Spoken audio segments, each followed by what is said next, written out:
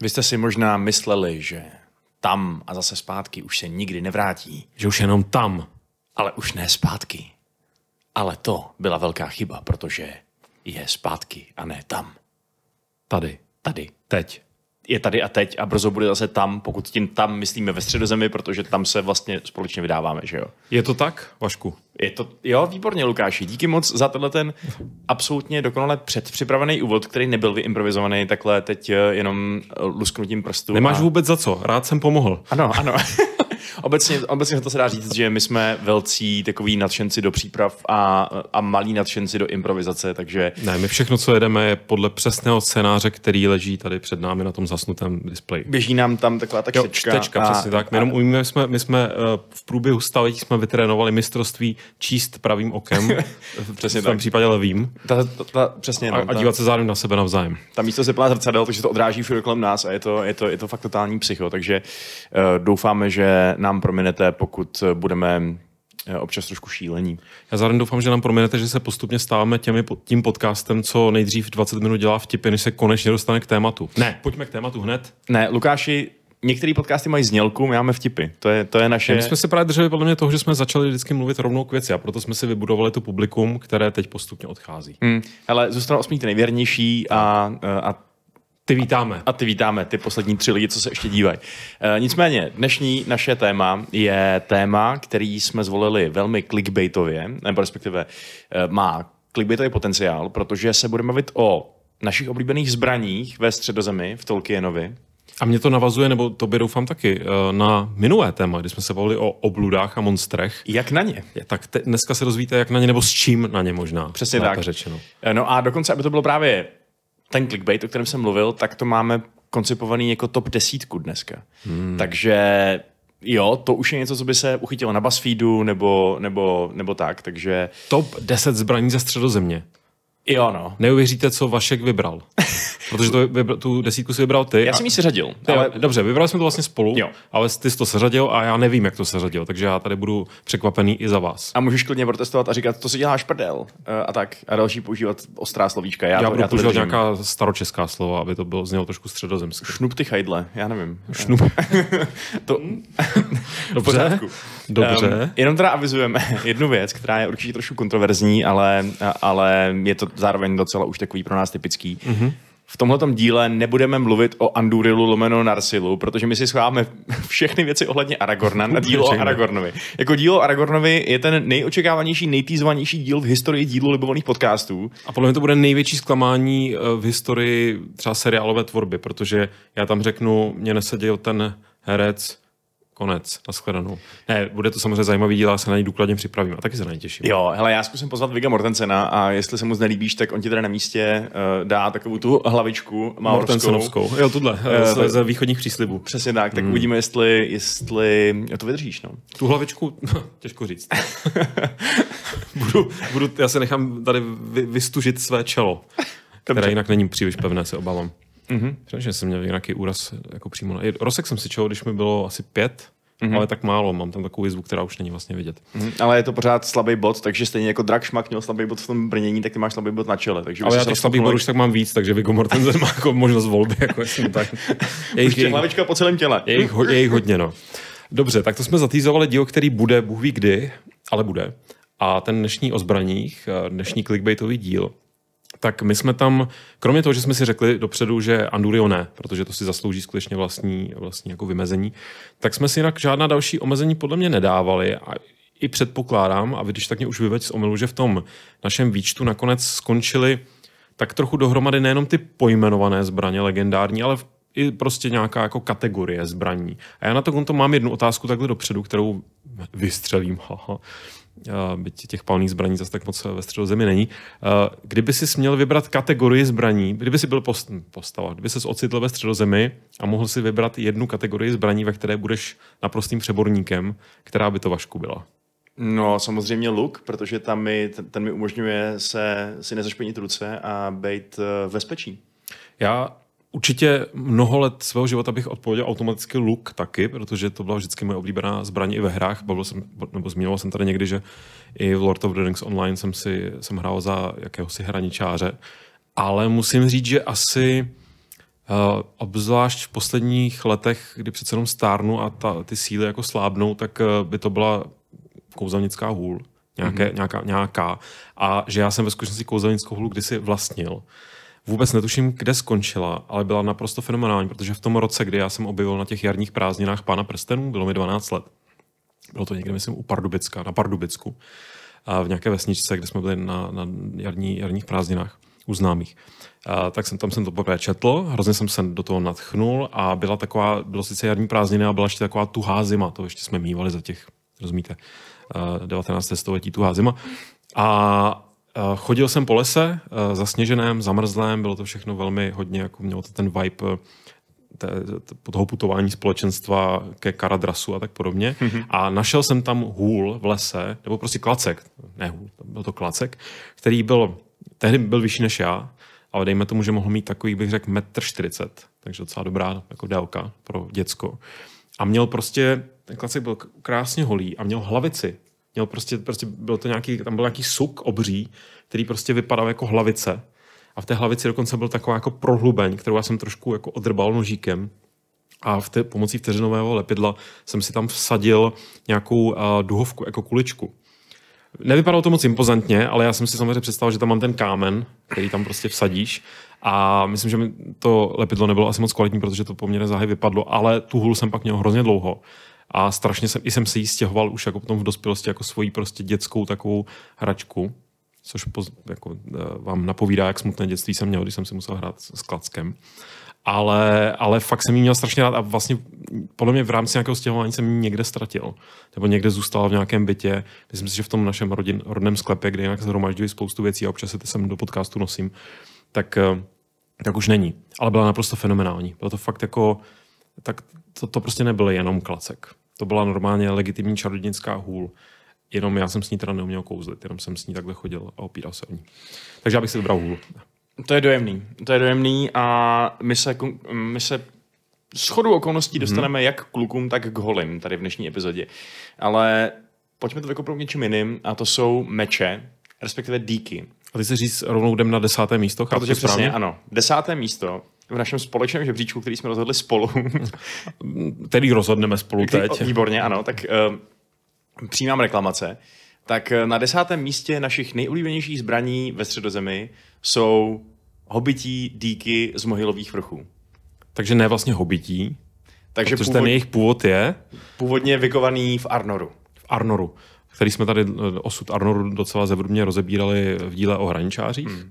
A já obecně mám velkou náklonost k mohylovým vrchům a, k, a obecně k tomu konceptu, že se někam uh, vloupáš do nějaké krypty.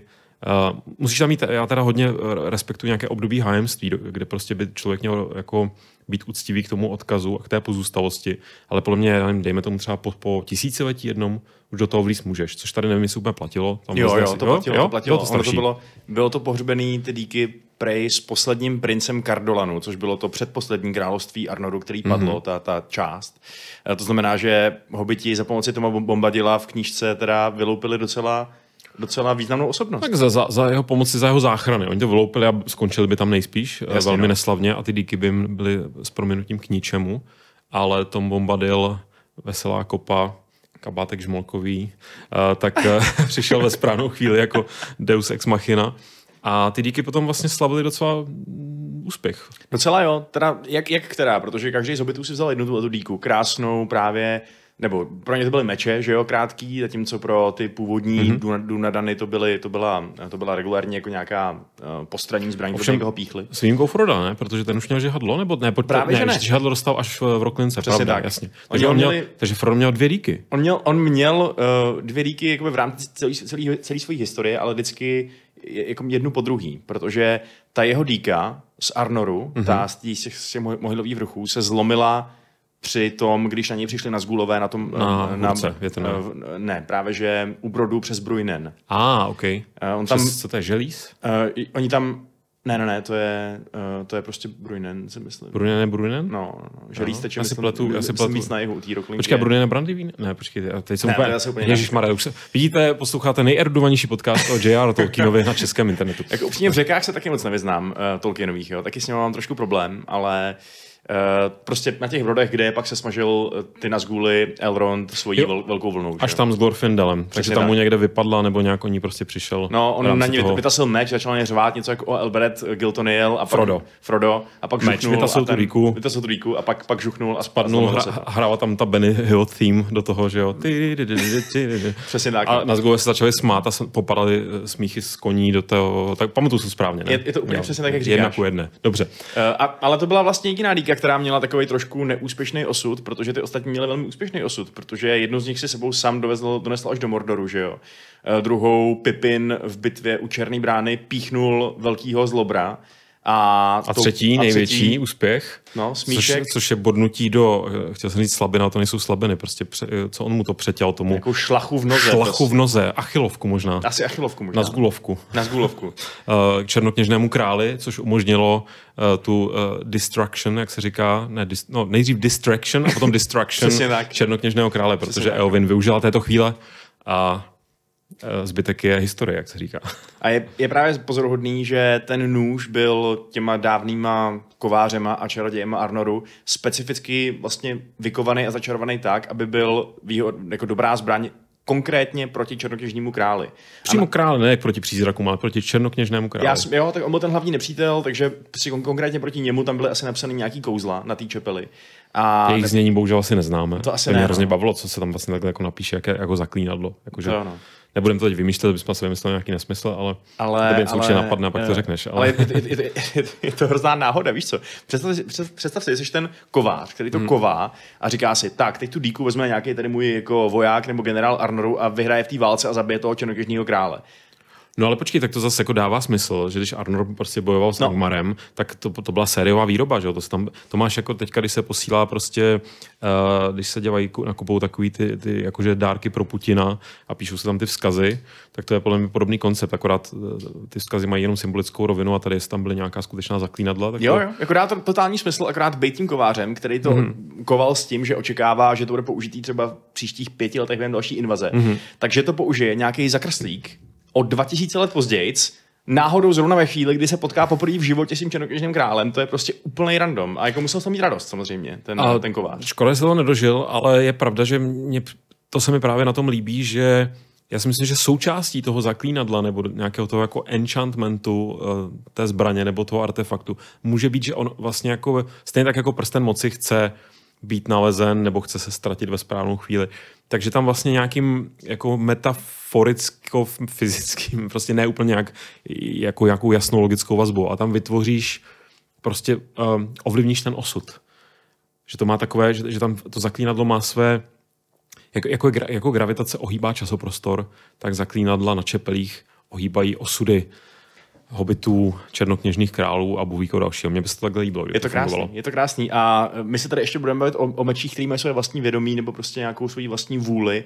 A bylo by hezký, kdyby ta díka bodla s, jako s tím záměrem, že chce konečně zabít toho svého nepřítele uh, a vlastně věděla, že to je její smrt, protože ona se potom hned jako rozstavila, že jo? nebo roz, uh, zmizela její čepel. A, Naplnila a svůj účel, no. Přesně tak, no. Ni, ničeho většího už dosáhnout nemohla. Vlastně, vlastně svým způsobem ten kovář nejenom, že byl, uh, že to takhle jako perfektně uh, připravil tu půdu pro naplnění osudu té díky, ale hlavně, že byla vlastně vyrobena jako udržitelně, že se automaticky recyklovala, nebo nevím, se recyklovala, prostě jako, jako rozložila se, neza, neza, nezanechala, protože pojďme si, pojďme si přiznat, že environmentální stopa uh, bitvy uh, před Černou bránou a nejenom, nejenom té, že ty močály plné prostě těch rozložených, to podle mě muselo vytvořit strašně jako silnou prostě ekologickou katastrofu ve středozemí. To jo, no, ale Takže každá ten, která se rozloží... Byl ten jílec ještě. Jílec, no tak hmm. hele, nemůžeš to mít úplně perfektní a myslím, že i tohle je jako dílčí způsob, jak uh, pomoct udržet středozem uh, chtěl jsem říct čistou, a spíš krás, nevím. No. A, a pojďme Bez na, bordelu. Pojďme někam dál, protože nastavili jsme teda tu laťku podle mě hodně vysoko. My jsme na desátém místě, na druhou stranu má to být top ten. Takže Právě no, budou tady, začít budou tady ostrý věci. A jinak no, ostrý, ještě... tohle je ostrý taky, pozor. to. je vtipný, že ve filmu, že jo, Aragorn přinese ty díky hobitům tak nějak jako automaticky, když oni čekají na, na větrově, tam není žádná eskapáda se zajetím uh, v mohylách. Já vždycky zapomenu, že ve filmu nejsou vůbec mohylové vrchy. No. Nejsou, no právě. A přijde mi hrozně vtipný, že to vypadá, že, že v tom filmu, já nevím, jestli to mají být nějaký náhodný nože, který on někde sehnal, anebo jestli fakt si zaběhnul rychle do nějaký mohyly, rychle vyloupil a vrátil se zpátky. Tak vzhledem tomu, že Aragorn je Aragorn, tak proto pro ně asi nebyl jako takový problém. Že? To ano, ale je trošku takový neúctivý používat ty mohyly jako skladiště užitečných věcí pro případ, že je potřebuješ, ale jako jsou to jeho předkové, víš co. Ale... No tak ale tím spíš, tak má zase jakoby dědičné právo, ne? Jako jasně, to je Nějakým pravda, způsobem. To, je To, to vlastně už spíš by tam měl zaběhnout on, než že tam prostě vběhnou nějací pitlíkové ze Sáčkova. Jasně, no. Je fakt, že ten, ten že mohylový duch by na něj uh, jako dělal, bů, kdo, kdo mě ruší v mém spánku. Argon by řekl, dědo, to jsem já, jdu si pro věci. On, já, já, já tě nepoznal, synku, ty vypadáš jako Viggo Mortensen. ty nejsi můj Aragorn. A zjistil bys, že mohli duch jsem já. Anyway. tu, tu roli bys určitě totálně jako ounoval. Deváté místo, Vašku. Deváté místo eh, je to taková subkategorie.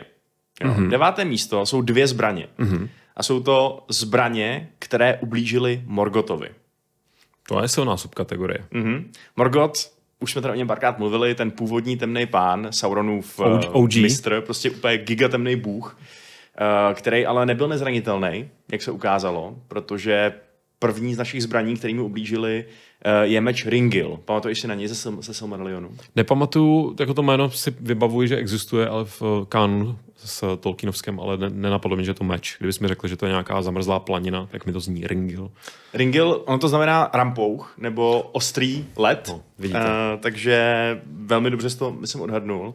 A je to meč krále Fingolfina, který on používal právě v tom souboji muže proti muži. Eh, jeden elfský král si myslel, že je všechno ztracený, jel do bitvy jeden proti jednomu eh, s Morgotem a utkali se. Utkali se. Vzal si rampouch, Vzal si rampouch, což byl meč, úplně strašně jako elitní elfský meč, který reálně měl takový jako skoro až dračákoidní nebo D&Dčkový poškození, že když někoho seknul, tak ho fakt zmrazil. Jakože prostě to jeho kousnutí mrazilo, což mm-hmm, je mm-hmm, zajímavé, že to, to obvykle nebývá, to má prsten, takový jako otevřeně živelný efekt. Jakoby ne, ale zase to dává smysl, že potom to inspirovalo přesně ty, uh, to, co známe ze spousty RPGček, nejenom teda z Drčáku. To jo, že, no. že máš ty, eh, jako, jak se tomu říká, eh, environmentální eh, efekt, účinky, nějak, má to nějaký pojmenování. Že? Jasně. Prostě, no. A Morgoth zjevně teda nebyl až tak náchylný na mrazivé poškození, měl tak nějaký odolnosti asi, protože jak, ačkoliv ho Fingolfin sedmkrát seknul, tak stejně prohrál ten souboj.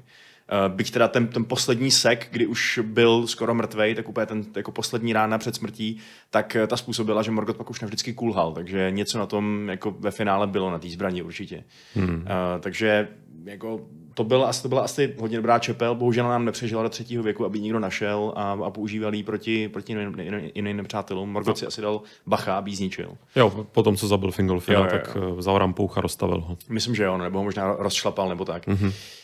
Um, Možná jak ho rozšlapal, tak si ještě zhoršil to zranění. Mo- možná jo, prostě- no, možná jo, no. Prostě jako, když šlapeš na Lego, je to fakt nepříjemné. Jako jestli, na to, jestli ta zbraň třeba jako byla takhle, a on se na ní snažil šlápnout, tak to chápu, že nebylo úplně taktické z jeho, z jeho strany. Ale ty jsi říkal, že to je nějaká dvojice na Je- je to dvojice, devátém no. místě. Je to dvojice, protože ta druhá zbraň, která ublížila Morgotovi, je elfský nůž pro změnu mm-hmm. a ten se jmenuje Angrist.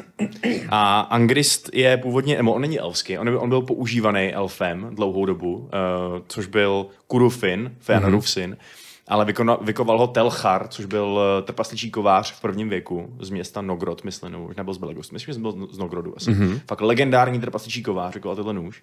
A ten nůž je slavný hlavně díky tomu, že selhal v hodně nepříjemné situaci. To bych ho skoro kvůli tomu posunul na konec eh, té naší desítky, protože ale tak chápu, že Ringel, Ringel to vyvažuje. A kde teda selhal? Co? Uh, protože on se ho zmocnil Beren, což je hrdina, o kterém jsme se tady bavili taky už několikrát. Největší lidský hrdina všech dob. A budeme jemu i Lutin věnovat celý díl, pochopitelně. Jo, jo, jo. A on se dostal do situace velkou spoustu lapálí a okolností, které si taky probereme někdy příště. Berenovi Lapálie, to zní prostě večerníček. To ano, to ano. A je fakt, že to je trošku komický moment, protože ta situace byla taková, že on se nacházel u spícího Morgota mm-hmm. a vyřezával mu z koruny Silmaril tím nožem, tím mm-hmm. Angristem. Ano. A uh, protože šli ukrást prostě mu Silmaril. Vyřízl mu Silmaril, což byla součást toho jeho proroctví, že on ho teda získá. A pak si říkal, no když už tady jsem, tak proč nevzít i další Silmaril? No a pak jo. ještě jeden. Tak začal řezat ten další, ale tam už proroctví zakročilo, nůž se zlomil a kousíček toho nože v letu náhodou trefil Morgota přímo do ksichtu. Udělal bup. Přesně. A Morg udělal What the actual fuck? To je Tolkienovská citace. Tady. Morgoth se zbudil, samozřejmě Beren začal zdrat jako, jako blázen, protože... no, not me. Eh, to, to začal si doufám užívají posluchači podcastu a ne diváci. Já tady hrozně prudce gestikuluji, jenom jsem chtěl naznačit. Ale i tak to musel být cool nůž, hmm. když dokázal jednak vyříznout Silmaril z železní koruny a jednak, eh, když vlastně i ten jeho střípek dokázal Morgota poranit na- natolik, že ho vlastně zbudil ze spánku, že jo? Takže Já si myslím, že to, jako, to není selhání nože, to je selhání Berna. jo, jo, měl tušit, že Prostě to je jako když fakt vezmeš nástroj, který má jasný účel a snaží se s ním dělat něco, jako, co víš, že pro tenhle účel stavěný není. jasně. Ale Prostě čistě, ne, on, si, on si buď nepřečetl návod, anebo si ho přečetl a ignoroval ho. No, tak on, on měl obecně nějakou silnou vůli Beren, takže si myslím, že eh, Nečetl, eh, jako tyhle, ty, manuály. tyhle velký hrdinové mají tendenci dělat takový jako své hlavní rozhodnutí bez ohledu na důsledky občas. Hmm. Hmm. Jako třeba když se rozhodnou, rozhodnou vzít si dceru mocného elského krále, ačkoliv ten to nehodlá připustit. No, ale Ale to nepředjímejme. nepředjímeme. A Nicméně devátý místo i proto, že ten eh, power level, prostě ta, ta, ta mocnost mi přijde taková jako hodně uh, směrem eh, nahoru vyšponovaná. Ne, dávalo by smysl, že ten Ringel sám o sobě by to mohl vytáhnout výš, ale ta kategorie je zároveň zajímavá a zase tady ten Angrest, Ang- Angrest, Angrist, Angrist. a, tak, tak to trošku jako stahuje zpátky. Pojďme teda na osmé místo. Eh, Na osmém místě, tam, tam jsem nakonec zařadil, co jsem tam zařadil? Jo, no, Hole mm-hmm. čarodějů. Hole čarodějů. Mm-hmm. A já si typnu, proč si je zařadil, bych, nebo takhle, myslím, že ta prvotní reakce je proč tak nízko. Mm-hmm. A moje, uh, já bych argumentoval, já s tím souhlasím, a argumen- argumentoval bych tím, že uh, vlastně nevíme, za prvé nemáme dost informací o spoustě z těch holí, a za druhé jsou takové jako nevyvážené. Že prostě mám trošku pocit, že třeba Sarumanova hůl byla nalevlovaná někam jinam než Gandalfova a Bůh ví, jak to měl, měl vůbec Radagast nějakou hůl. Jo, měli všichni čarodějové hůl, no. To právě, no to byl evidentně jeden ze symbolů toho jejich řádu, protože Saruman, když se hádal s Gandalfem uh, v železném pasu po, byt, po bitvě u Helmova žlebu, tak uh, Saruman vlastně Gandalf- Gandalfovi říkal něco ve smyslu, jako jo, dám ti klíče od Tortanku, ale až budeš mít uh, až budeš mít hole všech peký čarodějů, ha, ha, ha, ha, ha, prostě víš co, mm-hmm. jakože uh, kdybys chtěl sehnat třeba koruny všech panovníků, tak to je podobně jako sehnat hole všech čarodějů. Uh, Tak ale... tady hlavně spíš asi tušil, že zhánět uh, hole modrých čarodějů to je ono. by bylo to trošku ono. challenge. No. To je ono. A vlastně i, i když ho Gandalf potom vyloučil z toho řádu čarodějů, tak taky ta věc, co udělal, byla, že mu zlomil hůl, že jo, na dálku. Uh, svojí silou vůle, nebo... Prostě, Tam vůbec jako celá ta mechanika toho, nemyslím teď zase doslovně, ale prostě uh, hodně to zdůrazňuje tu symbolickou rovinu, že vlastně ve chvíli, kdy dojde k tomu uh, přesunu té moci, ne úplně jako zjevnému, že není to, že by někdo od někoho něco odsal, prostě vlastně do- dojde k nějakému prohlášení, nebo předtím dojde k přerodu Gandalfa šedého a Gandalfa bílého a potom teda dojde k tomu přesu, jako beru si tu moc od tebe, tak vlastně ta hulu lupne podle mě právě protože je jakoby provázaná s tou, eh, s tou symbolickou rovinou té moci, takhle jsem to chtěl říct jednoduše.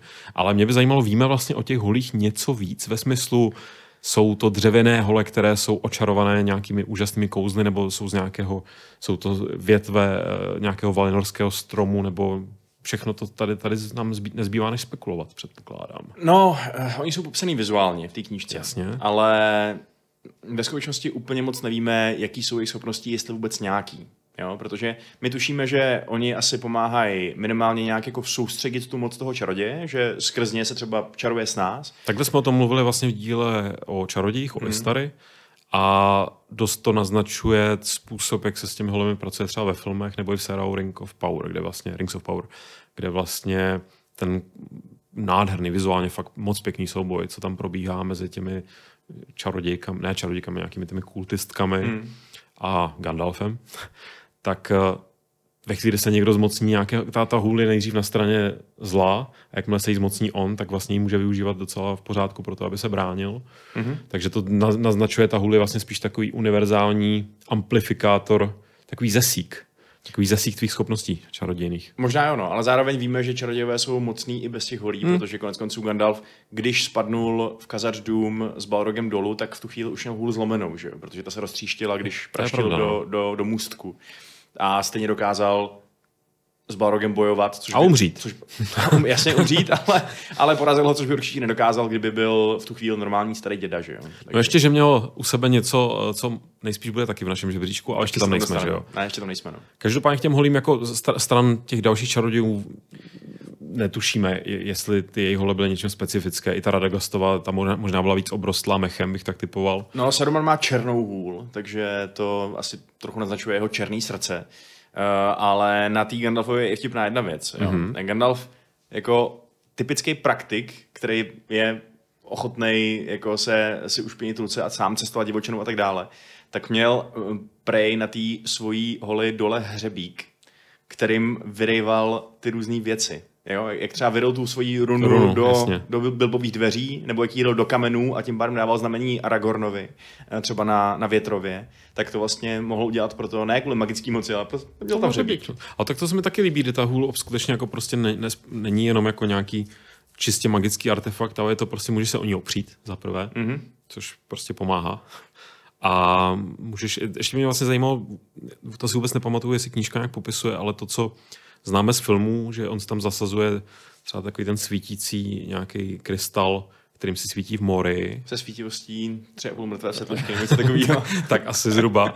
tak to není nic, co by bylo jakoby popsáno v knihách, že, tam, že, máš, že máš v té hlavici nějaký prostě slot, kam si zrovna zasadíš, co potřebuješ. Ne, to myslím, Tam že třeba ne. můžeš dát Bluetooth repráček nebo tak něco. Ne. Myslím, že ne. Myslím, že to právě není zdaleka takhle jako... Ne, že to se mi zrovna docela líbilo, tenhle jako jemná imaginace eh, Jacksonovská, ale... Jo, jo. Fakt, fakt bych to spíš považoval za, za symbol a za určitou, určitý způsob, jak jako tu moc soustředit, spíš než, že by to byl nějaký jako něco nezbytného pro toho čaroděje. Ale je vlastně zajímavý, to bohužel neznám, jakoby nějakou historii lidové slovesnosti, nebo ne slovesnosti, prostě nějakých mýtů, a kde se vlastně vůbec vzalo, že hůl je jako čarodějová proprieta taková typická, protože to hmm. samozřejmě bylo dávno před pánem prstů. Předpokládám proto, že čarodějové byli jakože staří, uh, moudří, ved, zároveň fyzicky vedší, vedchí uh, lidé.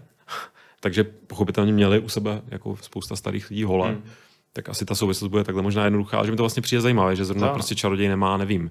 Máš, máš že spoustu, uh, hodně to bývá přesně v onlineovkách, že čím tam te, má, máš ty prostě bojovníky s těmi meči a, a ty, ty darebáky a, a lapky s těmi díkami a lučišníky ku podivu z luky. A pak uh, občas tam, nevím, třeba že v sériích Dark Souls a tak, tak tam máš různé totemy nebo prostě různé nějaké jako artefakty, které přesně soustředí tu tvoji energii ale že vlastně tady je to prostě ta úplně klasická hůl. Možná, jestli to nemá i vytvořit ten dojem právě, eh, ne, jestli to nemá trochu mást, eh, že si říkáš, tato, ten, tato postava nebo tato bytost mi nemůže moc ublížit, když je to takový stařík, který se musí opírat o hůl. Jako to ostatně říkal Gandalf Hámovi u dveří do Theodenova paláce, že jo? Velmi dobře, velmi dobře. A, že přece a... bys ne, ne, ne, v tom originálu je to hrozně hezky řečeno, jako přece bys, ne, teda myslím v anglickém originálu, který si nepamatoval, že nechceš přece oddělit, oddělit starce od jeho, od jeho hole. Mm-hmm. No je otázka, jestli by dokázal Gandalf tak efektivně očarovat Theoden, kdyby tu, kdyby tu hůl neměl. No, takže těžko říct. Uh, tohle jsou nízko pro, relativně, protože prostě nejsme si úplně jistí, jak moc jsou vlastně důležitý. Oni by potenciálně mohli být na prvním místě, ale my to nevíme, takže jsou na osmém. Je to tak. Přesně tak, ale kdybychom tady měli tvojí hůl, eh, tak ta by... Moje hůl je samozřejmě nejlepší hůl. Ano, to je nejlepší hůl. Eh, potom na sobě místě je taková trošku mím ze zbraň. OK. Uh, a to je, nebo já nevím, to je asi možná trochu přísný, ale je to ten řemdích černokněžního krále. Řemdích černokněžního krále, který eh, opět si nepamatuju popis knih, ale ve filmu je to skutečně řemdích s velkým ř, e, m, d, měkké i a i h. Jo, možná bych tam přidal, přidal další písmena, kdyby nějaký byly, protože to je fakt úplně mega řemdích. Mega řemdích, přesně uh, tak. A k tomu se že váže ta, ta úplně geniální historka z natáčení, kde mm-hmm. oni ten řemdích několikrát zvětšovali a Jacksonovi to pořád přišlo, že to je málo, že to prostě není dost epický, že to prostě není dost hrozivý. A fakt už to potom narostlo do úplně jako směšně absurdních rozměrů, kdy to, kdy to bylo velký jak celý, kdy ta hlavice byla velká jak prostě, jak torzo toho černokněžního krále. A, a, a, když to potom vidíš v těch jako behind the scenes materiálech, tak si říkáš, jako tahle zbraně, to je, jako, to je fakt směšný. Kdybys to viděl u někoho, jak to, jak to vláčí na bojiště, tak si říkáš, to, to, to, to je nesmysl. Ale Ku podivu ve filmu to funguje, no. v tom filmu prostě, jak tam je to natočený prostě z toho, z toho podhledu, vidíš, jak ten král úplně obrovský, že jo.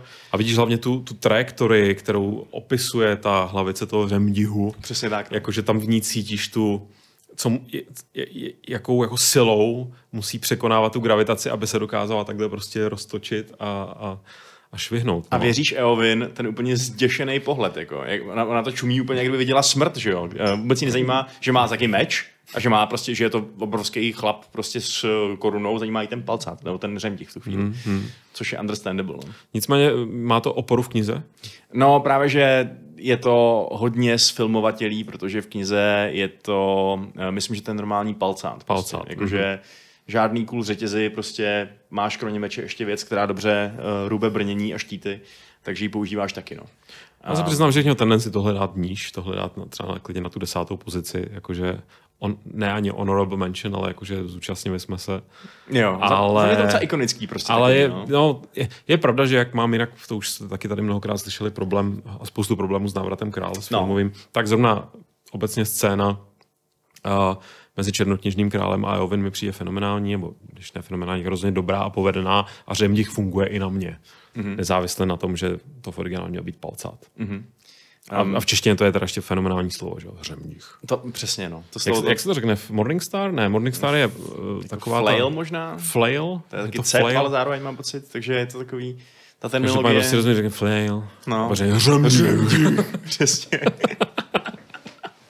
Myslím, že, to- že, že, že, podle mě tohle je přesně zbraň, která musí mít strašně fanoušků mezi skřety. Že mi si vždycky říkal jako doufám, že si dneska vezme ten svůj řemdich. To zní jak na nějaká to černá těšil? řeč prostě. To No. určitě etymologicky to pochází v češtině z černé řeči. Až Mordoru. nás k.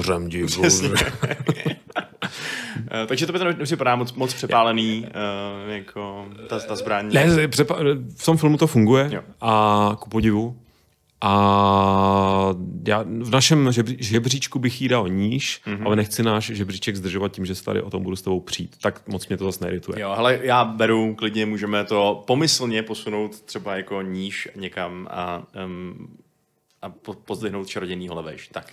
Celý bych to pozvenoval. Já bych ho na, na desátou pozici, Dobře, to jenom tak, tak jako jo, for tak- the record. Ale pojďme teda, to je, jsme na sedmém? Jo, takže teď šestý, šestý místo. Šesté místo. Šestý místo je kategorie. Mm-hmm. Uh, není to konkrétní pojmenovaná zbraň, je to, je to řekněme, uh, no já to já řeknu, co to je. Mm-hmm. Jsou to střelné zbraně Numenorejců. Co si pod tím mám představit? A nějaké balisty? No, Jestli tam tak říká vůbec? jakože ruční střelný zbraně, Ruční. protože oni mají, oni mají dvě fakt hrozně specifické střelné zbraně. Numenorejci, úplně nej, největší, nejhustější lidi, že jo, ze, z ostrova na západě, kteří byli mocnější než elfové, mocnější než kdokoliv a vlastně až jejich pícha je dokázala zahubit, i když by jinak byli silnější než Sauron a všichni. Fenomenální basketbalisté. To taky, tři to metry, taky. že jo. Přesně tak, no. Zvlášť Elendil vysoký, že jo. Uh, znáte je z Rings of Power, pokud se na ten seriál díváte. Uh, Numenorejci I když tam nejsou tak vysocí, pozor, tam vypadají jako relativně normální Vypadají, no, to je pravda. Uh, ale Numenorejci mm, byli nejvíc obávaný ve středozemi mezi svýma nepřátelema, ať už to byly třeba zlí lidé, mm-hmm. nebo, nebo skřeti, uh, nebo normální lidé, kteří, kteří se Numenorejci, Numenorejci vydali kolonizovat v době, kdy už byli oni sami zlí, mm-hmm. uh, tak se nejvíc ze všeho báli jejich uh, ocelových luků. Oni měli luky udělaný z dutý ocely, mm-hmm. který byly který nikdo kromě nich nedokázal natáhnout, který byli vysoký a tím pádem použitelný jenom Že ty tětivy pěchotou. byly ocelové. Uh, to nevím, že byly tětivy, to, to, to je zajímavá A že by myšlenka, to dalo ale jako nějaká takhle pružná ocel, kterou natáhneš jako tětivu. Proč? Možná by to šlo drát, prostě nebo něco takového. Hmm. No. Ale, ale faktem je, že prostě eh, ten luk měl příšernou sílu, příšerný dostřel a nic Ty se to nemohlo ani taky, rovnat. ty prostě. šípy asi taky musely mít příšernou příšernost. Jo, dlouhý černý šípy, uh, opařený černě a ty Numenorici je před sebou prý vysílali jako, já jsem si vypsal pár citátů z toho, jak to, jak to ty lidi označovali. No, povídej, že před sebou vysílali veliký oblak jako déšť proměněný v hady nebo černé krupobytí s ostřím z ocely. Takže Jako ono obecně tak, taková, taková ta kanonáda lučišnická, když je to dostatečně, dostatečný počet, ať už kdekoliv ve hře, ve filmu nebo v představě no, nějakých historických bitvách, vypadá působivá, když si teď představím, že na mě nepadají jako nepříjemné, ale tenoučké klacíčky, ale ty vole letí na mě prostě uh, ocelová nebo víš z čeho ty šípy byly, ale prostě nějaká fakt jako trubka Jako když už máš prostě těch, těch s, eh, s, s bodcem nebo s nějakou špicí. Přesně no. Když už máš ty 3 metry do výšky a jsi silný jako hovado, tak je asi fajn mít takovouhle jako ruční balistu sebou, že jo? A totálně s ním kosit kdo ti přijde do cesty. Ale mě třeba, mě třeba kuše taky? To je přesně ta druhá kategorie. Ah. Protože ještě teda zmíním, že jedna i právě jeden z, jeden z artefaktů, který se předávali z krále na krále v Numenoru, byl právě luk. Eh, Byl to Bregorův luk, jako dědictví toho jejich nějaký. A víš, jak já se to mimochodem představuji, kdo jste hráli, um, to jsou v prvních Dark Souls, myslím, v Anor Londo, jsou takový ty lučišníci, že tam se snažíš vylézt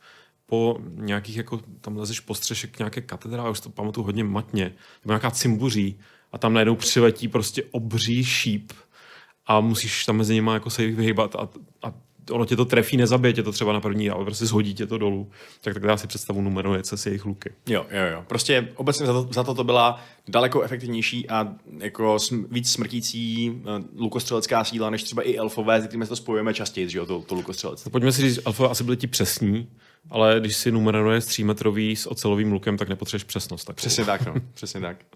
A teda kuše, a ty kuše. Numenorejci byli jediný národ, který vynalezl kuše. Mm-hmm. Nikdo jiný je nepoužíval ve středozemi. Tak oni je vynazli, ale nikdo je teda nepřejal. Ty kuše. Ne, ne, ne, nikdo- ne, ne, ne. ne. ne, nepřevzal, ne, nepřevzal. Prostě. Podle textu je, jsou, jsou kuše čistě numenorejská věc, kterou nikdo nepoužíval. A to je zajímavé, proč si říkám. Možná, že, možná, že kuše prostě vy- vyžaduje uh, už nějakou úroveň technické zdatnosti, kterou středozem zkrátka dobře Víš, nedisponoval. koho bych čekal? Trpaslíky automaticky, že si vyrobí, vyrobí své kuši, kušičky, Mhm. mm-hmm. kušky možná, menší variace. Možná, že trpaslíci prostě obecně nemají moc rádi uh, zbraně na dálku, protože bojují v těch tunelech, že jo, na blízko, v, v malých místnostech. To je docela do, do, dobrá připomínka, no. Um, ale jako jasně, běžně v jiných fantasy světech, třeba Warhammeru a tak dále, tam jsou trpaslíci velmi dobrý na, na dálku, mají ty jako vynálezy a tak dále, ale Tolkien trpaslíci úplně tak moc ne. Hmm. Uh, a, a ty kuše ale Numenorici pozor, oni nepoužívali ve válce, protože měli tyhle ty svoje úžasné luky. Oni měli tady tu strašně sofistikovanou věc a používali ji na lov ptáků. Mm-hmm. Když šli lovit ptáky, tak je lovili kušema. Uh, jenom prostě jako sporto, jako když máš takovou Sportovní, sportovní střelba, pistoli. Prostě, sportovní přesně. střelba numerorejská prostě. Přesně tak. Vzduchovka, kuše. A oni je lovili jako jen tak pro zábavu. No, tak když, jako tak, eh, že jo, lovení je asi v těchto těch nějakých eh, předmoderních společen, společenstvích taková hodně obvyklá zábava. Ne, spíš, že si to mělo jako nějakou vyloženě jako třeba mm, hodně oblíbený sport, jo. Nebo... Myslím, že, no, nevím, jestli úplně sport, ale asi prostě, že jo, i pro jídlo to, to museli lovit a tak dále, takže... To třeba nějak nesouviselo, ale eh, teď zase mo- možná to motám, ale jak jsme se tady bavili, to byly... To bylo za díl, kde se nám, uh, to byl Fean, uh, Erendil, kdo se měnil tam uh, v Jo. ptáka, jeho žena Elving, no. Elving a tam už, tam ještě numenorici nějak nef- nefigurovali. Ne, že? to je, to je dřív. to, No. to, byly, to byly elfo... S kým se to tam prali? Oni, oni byli půlelfové, že jo? Jo, ale, jo.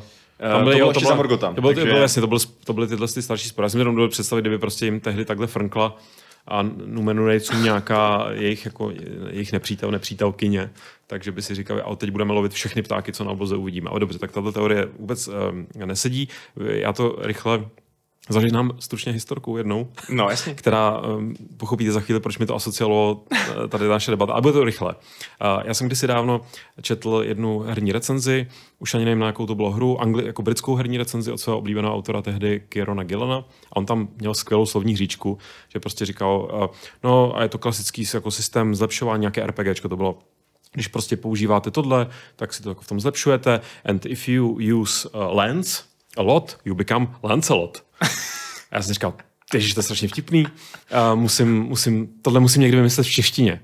A trvalo mi to dlouho, dlouho, ale myslím, že to byla, a teď taky nevím přesně, možná to byla recenze Skyrimu, kde jsem uh, vymyslel, že když hodně používáte kuši, jste zkušenější. To je geniální. Já si taky myslím, děkuji, Pašku. Ještě, že tě mám. To je úplně skvělý. To nechápu, že jsi to vymyslel zrovna ty.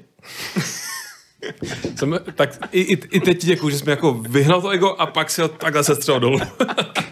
Ne, fakt se to hodně líbí. To Ale mně se to taky hodně líbí a teďka pro posluchače podcastu si uh, smetávám smí, neexistující smítka z levého a následně z pravého. Ramene. Je to, hodně, je, to, je to hodně arrogantní a spokojený sám se sebou. Je to, je to Eh, Typi, typický já. Přesně tak. Pátý místo, jdeme do, jdeme do uh, té lepší poloviny. Já jsem si o tom všiml, že budeš mít podle mě problém s třetím místem, který sám moc nechápu, uh. jsem daleko vysoko. Ale pátý místo, uh, zatím si docela stojím, Mhm. mm-hmm. to je morgulský nůž. Máme za sebou tamhle v, ru, v ruce černokněžného krále. Za tebou je? Jo, jo, za mnou. Na videu teda, prosím vás, pokud nás posloucháte, tak se nedívejte nikam. Jo, jo, jo, nebojte se, není tady za náma skutečně černokněžný král, který vás chtěl podříznout. Ale mně se strašně líbí, že to je ta zbraň, která vlastně uh, jejíž primární účel, jako jediný z těch zbraní, co tady jsou, není zabíjení, není, není destrukce, ale je nějaký ovládnutí. Že? Protože když tě bodne bo- morgulský nůž, tak se ti zlomí v ráně a ten střípek ti putuje do srdce a až tam doputuje, tak se z tebe stane přízrak, který ovládají na zgůlové. Hmm. Což je dost trpký osud. To je hodně trpký osud. A zároveň, i když se ti podaří tu ránu vyčistit zavčas, dokonce s eh, přivožením královský, královského doteku hojivého, tak ti to stejně poznamená, takže musíš odejít do, eh, do západních zemí, abys eh, jako na reko, ne rekonvalescenci, abys to jako aby se prostě nemůžeš jen tak někdo do nějakých lázní, musíš fakt odjet eh, do Valinoru a tam máš šanci, že tě to možná bude, nebude tak, tak bolet jako v té středozemi, což byl hmm. přesně Frodův osud. To mě na tom vždycky fascinovalo, vždycky se mi to už jako za mlada líbilo, teď jsem to řekl jako rádoby vtipně, ale myslím jenom to, že tě fakt něco poznamená tak, že prostě si to neseš sebou celý život. No to je ono. Protože tak je to i ve skutečnosti. On vždycky na výročí toho útoku to cítil nejhůř a byl vždycky těžce nemocný, nebo prostě měl následky toho zranění. Hmm. A byl to jeden z důvodů, proč se rozhodl nakonec, že prostě musí vypadnout, protože to už nešlo vydržet. Ale a přesně jak říkáš, přitom měl jako prvotřídní lékařskou péči. Aha. Nejdřív se něj postaral Aragorn, který Aha. mu Atelasem to přesně vyčistil, pak ho léčil Elrond, největší léčitel v celé středozemi. A stejně to nebylo dost, dost účinný na to, aby ho to vylečilo navždycky. Uh, byť teda se nestal aspoň tím přízrakem a neměl k tomu úplně daleko. Ale ono to je teda možná i tím, aspoň v knížce, že vlastně ve filmu to je tak, že oni ho bodnou a on vlastně další den už je v Roklince, že jo? Mm-hmm, přijde Arwen a odveze ho přes noc na, na tom koníkovi. Jasně. A um, Asfalot. A Horolim. Pře- přesně tak. Ale v knížce oni vlastně putují divočinou 14 dní, než se dostanou do Roklinky a Frodo celou tu dobu Se ztrácí, podléhá ztrácí. tomu efektu toho nože. A, A, ale to už mu tam, to, to, tomu tam ještě pořád putuje ten Jo, lomek, putuje. jo. Jo, on, je to- on, on to z něj vlastně Aragorn nevytáhne, on mu to jakoby vydezinfikuje Přesně tak, no. a nějak trošku zbrzdí Jo, jo, jo. ten proces, ale hm, Jako ta knižní verze té díky je vlastně o dost méně potentní v tomto ohledu, protože jestli fakt máš 14 dní, než se tebe stane uh, přízrak, tak jako v okruhu 14 dní od Rocklingy se tím pádem safe, že jo? A dost možná i v okruhu 14 dní od Lothlorienu a takhle, ale ale zase dává smysl, nebo si říkám, když nevíš, co to dělá, když máš pocit, že prostě jenom máš, jako to asi Ro- Frodo necítil, že mu tam jako někde jede prostě eh, jako úlomek té čepele. no byl čím tím nemocnější. To jo, prostě. ale jako říkáš si, jako, tak jsem se něčím, jako něco jsem z toho chytil, Jo, jo, no, nějaká jasně, no. gangrenka pěkná, ale, ale prostě asi nečekáš, že se z tebe stane přízrak. No. Jasně, no. Mě by zajímalo, na co to ty Nazgulové jako uh, přesně používali. Proč měli zrovna takovouhle zbraň, jako jestli měli tendenci, takhle, nejdřív otázka, jestli je to vůbec jedna jednorázová zbraň, jediný hmm. exemplář v existenci, nebo jestli vyráběli sériově třeba morgulský díky, že? Každý nazgul. No mně přijde, že se, když řekneš morgulská dýka, tak se tím naznačuje, že jich je víc, nebo ve smyslu eh, je očarovaná morgulskými kouzly. Mhm. Mm-hmm. A to si říkám, když můžeš očarovat jednou něco, tak to přece můžeš třeba očarovat i znova, ne? On Elrond i to v angličtině otačuje jako A Morgul Blade, takže jako... Právě, no. no že to je Není prostě to typ. takže- Ale zase jako, taky to může být, že každá ta morgulská, prostě, že to vzniklo v Minas Morgul, nebo dejme tomu, je to prostě produkt eh, tady téhle z té manufaktury. Jasně. A můžou, že můžou zkoušet různé ex, jako experimenty, Jo, jo. že, tahle díka třeba dělá tohle, tahle dělá Jasně. tohle. A tady když, bych, když ti doputuje hrot nějaký jiný díky, tak pak třeba exploduješ, že nebo něco takového. no, třeba. No. Což by bylo spektakulární, ale možná trošku... Trošku taky nepřijde. A tak tohle je hrozně jako dobrá zbraň, že? protože vlastně nejenom, že eh, odstraníš nepřítele, ale získáš jakoby spo, no, spojence, získáš prostě Otroka, no. otroka no. Hmm. což chceš. A on, oni ty nazgulové celkově mám pocit, že ne, že bys to překrývalo s upíry a o upírech eh, jsme ještě nemluvili a možná ještě někdy budeme pořád, nebo trošku jsme naznačovali, ale upírek ve středozemi. Ale že tady tenhle ten koncept, že vlastně ty neníčíš, ty prostě získáváš si jakoby někoho na svou stranu, nějak ještě ideálně trošku plíživé, byť teda zrovna střep putující tvým tělem není úplně plíživá věc, tak to je jako nej, nejefektivnější způsob, jak, eh, Nevím, jestli vést válku, asi ne, hmm. ale vést takovou tu tajnou válku rozhodně. Je to, je to hodně Sauronovská věc, no to podmanění hmm. a ještě hmm. ideálně takhle tajný podmanění. Mě by právě zajímalo, kolik přízraků tak ty Nazgulové zvládly vytvořit, víš, jako, uh, kolik přízraků teda vlastně měl Sauron pod svou kontrolou a který mohli, já nevím, co špehovat nebo posednout nějakou tak Bůh ví, co vlastně by pak takový přízrak znamenal. To, no, to, to, to, není asi jenom, že jsi prostě, jako, ne, tak hlavně přízrak, jsi přízrak, takže se ztratíš. Jako, nejsi nový Nazgul, že jo? Nazgulové jsou evidentně jako vyšší úroveň přízraků. Ale zároveň nejsi prostě, uh, nevím, glum. No, no, no. Jako, jako, že nějaká fyzická schránka zubožená, která, uh, tak on byl jako, jakoby nezávislý nebo závislý jenom na tom prstenu, ale já myslím, že by, to, že by to mohlo být něco jako takový ty různý uh, zlý duchové, který tě zavádí v bažinách. No, prostě přesně tak, přesně tak, no. Ke, víš co, ke smrti nebo něco takového, takže jo, ne úplně armádní, cesty. armádní pluk přízraků. Nechodili no. asi prostě po Minas Morgula nebo Davy tam prostě každého druhého, jenom aby si vytvářeli prostě eh, jasně, no, další jasně. vojáky. To Situačnější to. Jo, jo. A, jako no. přijeme, že by mohl být i výš, morgulský nůž, ale zase jako sám, je to, je to a Morgul Blade, takže kdyby, to byl, no. kdyby měl jméno, tak ho dáme výš. Jo, jo. A ještě je zajímavý, že v Hobbitovi tam je jedna, jedna taková scéna, ve které oni trefí ty skřeti, trefí uh, Kiliho nebo Filiho nebo koho, mm. právě morgulským šípem a on pak potom podléhá a ta Tauriel ho musí vyléčit. To jsem úplně zapomněl. Ve no. filmech. Jo, ve filmu to je. Jo, to jsem to jo, jsem neřekl. Jo, jo, jo. jo, Já jsem teda podivu viděl první dva hobity, ale nepamatuju si z toho Tohle, nic. tohle myslím ve dvojce, ale jako jo, je to, je to je to během té bizarní scény na sudech a je to... Je, což je mimochodem vtipný, scéna na sudech je jedin, jediný moment, který jsem, jako, že kdyby to bylo v nějakém jiném filmu, tak je to naprosto fenomenální scéna. A jinak teda podle mě Hobbit, no, pojďme o tom nemluvit radši. To ano, ale to, to zase já, já mě, pokaždé, možná jednou za rok na ten den, kdy jsem viděl Hobbita, tak cítím, jako by mi tělem putovalo nějaké něco, co mi hodně jako ublížilo. Potřebuji dovolenou. Přesně tak. Uh, je otázka, jako proč vlastně ty Nazgulové v knížce nedávali morgulský zbraně všem svým přisluhovačům? Proč každý skřet neměl morgulskou zbraň? Protože asi nebylo tak jednoduché to vyrobit, no. Jednoduchá odpověď. Možná jo, no. Prostě taky, musíš tam... kdyby, se, kdyby se píchli do nohy, tak sami omylem Co se třeba, stane, no? Že... Se řízneš uh. se, víš co, při, při krájení masa a najednou jako, jestli to bude příděrák a skřeti jsou ale efektivní. zajímavé, co by se stalo, kdyby se na zgul píchnul sám sebe. jestli by se to jako vynulovalo nějak. Stal by se normální člověkem. No. A to by já, jsem, mě... já jsem živý kluk. Hmm. no, tak asi ne, no, ale... Asi, asi, asi se nemůžou píchnout sami tímhle s tím, no. Asi ne, no. To je jako magnety, když se jako odpuzují, když dáš ty poly jako k sobě a snažíš se stlačit. Jako. Přesně. Kdo ví, kdo ví, no. Jakože kdyby se pokusil přikisknout ten nůž k černokažnímu králi, tak on vystřelí prostě úplně. Třeba, no, přesně tak. Tref, a trefí toho skřeta a on to... Ups. um, čtvrté místo. Hmm. Mám, mám tady napsáno zbraně z gondolinu. O nich nevím nic, než to, že můj uh, dávný spolužák z základky, který se mnou chodíval po hostivařských skalách, kde já jsem právě chodil s tou holí a měl jsem plášť takový zelený a jedli jsme u toho uh, sír a takové pečené žebro.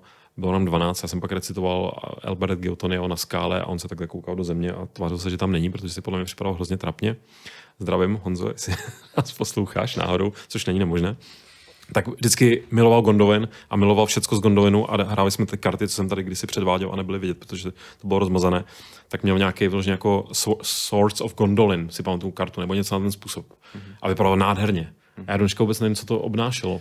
Já obecně mám trošku bordel v tom, co je Gondolin a tak, ale... Jo, no Gondolin je dávný elfský město z prvního věku, který bylo proslulý tím, že bylo poslední město, který vzdorovalo Morgotovi čistě proto, že bylo skrytý. Nikdo nevěděl, kde je. Jo, ale o tom jsme se vlastně bavili, máš pravdu. No. Jo, jo. Hmm. A, a potom vlastně teda skončilo, potom bylo dobitý uh, kvůli zradě a uh, stejně jako zbytek toho elfského světa vlastně tam schořelo. Uh, ale... Ale kdyby nedošlo ke zradě, tak měli zbraně, které by pomohly. Jo, a oni pomohli asi i během, během toho boje, jakože... Že by to dopadlo oni, hůř. Oni tam zabili fakt hrozně moc skřetů během toho útoku a balrogů a tohle toho, zabili ten pána balrogů, že jo, Gotmoga. Ale uh, oni právě měli úplně úžasné zbraně, fakt jako tam úplně byli skvělí kováři, skvělí zbrojňo vytvářeči. Uh, Zbrojaři? ne, ne, zbrojňo vytvářeč, to je, to je taky obrozenecké. Jo, to je pravda, zbro, zbro, zbro, zbro, zbrojňo vytvářeč. Přesně tak. Havlíček Borovský ví, o čem mluvím. Um, a jejich vlastně tři nejvýznamnější, nebo teda takhle, tři nejvýznamnější zbraně, které jsou důležité pro ten náš příběh, mm-hmm.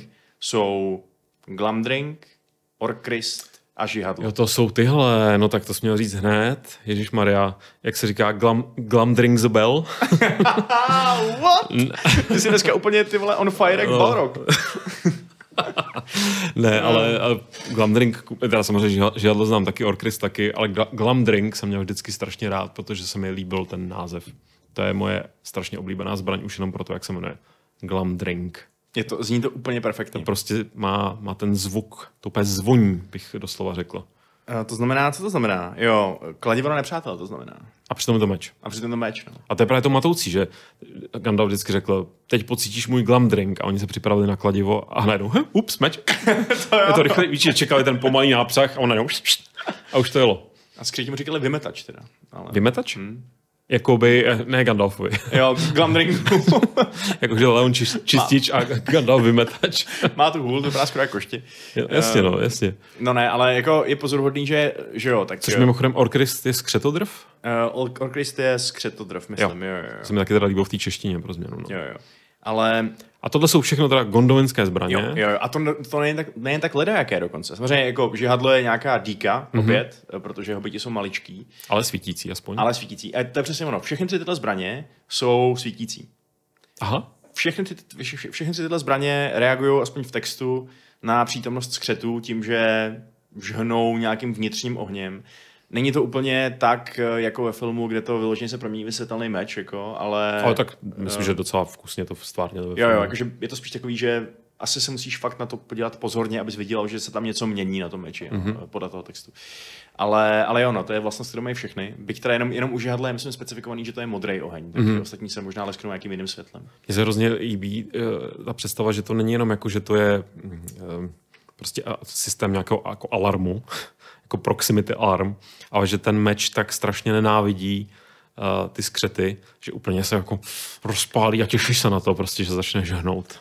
No ale chtěl bys to? Ono to může být docela Může to být, kont- může to být kontraproduktivní, když se plížíš někde třeba. když se plížíš. Uh, automaticky jsem si vybavil, jako teda zase volná asociace, ale prostě série Splinter Cell, kterou mám docela rád, některé ty díly, ale nikdy jsem si prostě nedokázal přenést přes to, že uh, Samu Fisherovi svítí ty tři body na, na, tom, na té jeho noktovizi rafinované a termální vizi. Protože ty jsi v tom, v té, já vím, že to je nějak vysvětlené, nebo že chápu, že to je mechanika herní, ale prostě týpek se schovává, ale svítí mu tři body na hlavě. Hmm. Tak představa, že jsem někde schovaný s glam- glamdringem nebo něčím a ono to najednou začne jako světelkovat. Ale zase ty skřeti jsou tak dementní, že oni můžou si prostě... Můžeš to podle mě využít ve svůj prospěch, že je na to nalákáš, když jakoby chceš připravit nějakou past. Takže to hodíš jak k- cigára v komandosech někam. A, tak jsem to ani nemyslel, spíš jakoby, že oni si říkají, co tam svítí v té tmě a, a druhý skřet řekne, tak jsi tam podívat ty, ne, ty se tam běž podívat, tak já jdu. eh, eh." A už se nevrátí. A, ten říká, a ten první skřet je tak hloupý, že si řekne, kde je, jdu se tam podívat taky.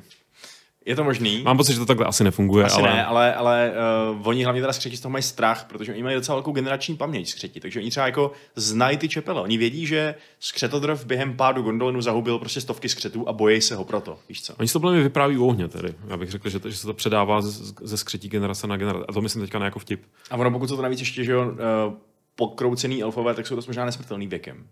Takže třeba furt žijou nějaký Že to kteří vlastně byli z- v gondolinu. Vidíš, to mě vůbec nenapadlo, že vlastně skřeti se můžou dožít třeba poměrně hodně vysokého věku. Mhm. Skrz tu nějakou elfskou zpřízněnost. Že třeba nejsou nesmrtelní, ale že prostě vydrží dlouho. Jo, jo, myslím, že vydrží dlouho. No. A, Myslím, že, a ty právě ty pamětníci potom vyprávějí, jo, to je něco jako já tady v podcastu. Jo, to bylo tehdy, Přesně, ano. když ještě... Než se potopil celý Beleriand, no. Ale prosím tě, dědo, jaký Beleriand, co to povídáš? Tak oni hlavně by nepoužívali tyhle ty názvy, oni měli Něco v černé řeči asi. to něco v černé řeči, nebo nějakou prostě přesně skřetodrv, nebo Jasně, jasně. nevím, jak by si říkal Beleriandu teda ve skřetí řeči. A nebudu Eh, to ani vymýšlet. No, ale, ale je teda pozoruhodný to, že um, to nebyly jen tak lidaký zbraně. Konkrétně ten uh, Glamdring, ten Gandalfův meč, který si přivlastnil od, z toho zlobřího pokladu, tak uh, že byl konkrétně osobní meč krále Gondolinu Turgona, což je jako úplně mega významná elfská osobnost prvního věku. Jeden z těch mm-hmm. několika málo velekrálů, který elfové měli. A um, je to, jako jeho zbraň musela být jako úplně naprosto jako fakt top level shit. Ne, v tom celém elském světě pravděpodobně nemohla být jako o moc lepší zbraň než Glamdring. Už tehdy, v prvním věku, na vrcholu slávy těch Noldor, že jo. Což je mimochodem taky zajímavý, že Gandalf měl potřebu si vzít zrovna nebo že vůbec z něho potřebují mít meč. Já chápu, že to jako hodí, jo, ale že prostě, jestli to o něčem svědčí, že prostě nějakou, nějakou míru uh, v boji uh, může proti čaroději nebo skřeta proti čaroději, tak prostě kouzla a hůl nepokryje a ten meč to pokryje, nebo, nebo že je dobré delegovat prostě část toho, té obrany na ten meč. Víš, jakože prostě bys čekal, že ten čaroděj si vystačí s tou holí. Hmm. Ale právě to nejsou úplně takový ty typický čarodějové z dnešních RPGček, ale jsou to prostě takový víc hands-on lidi. No. A já mám, Aspoň jen, jen, jednak hands-on, já mám pocit, že to může být opravdu prostě, že, že ta magie nebo nějaká silnější magie, která by mohla opravdu jako ublížit, tak vyžaduje prostě energii, která není nekonečná, nebo nějakou, nějaké soustřední, které není jako přítomné kdykoliv si jako člověk zamane a že je vlastně praktičtější si tu energii uchovávat na ty situace, kde je opravdu potřeba a ten to, co prostě posekáš glam, jako obzvlášť glamdringem, tak posekáš prostě glamdringem. Ale jakoby nevíme o tom, o tom meči, nebo případně těch dalších, že by to mělo něco, nějaké jako super schopnosti, kromě svícení.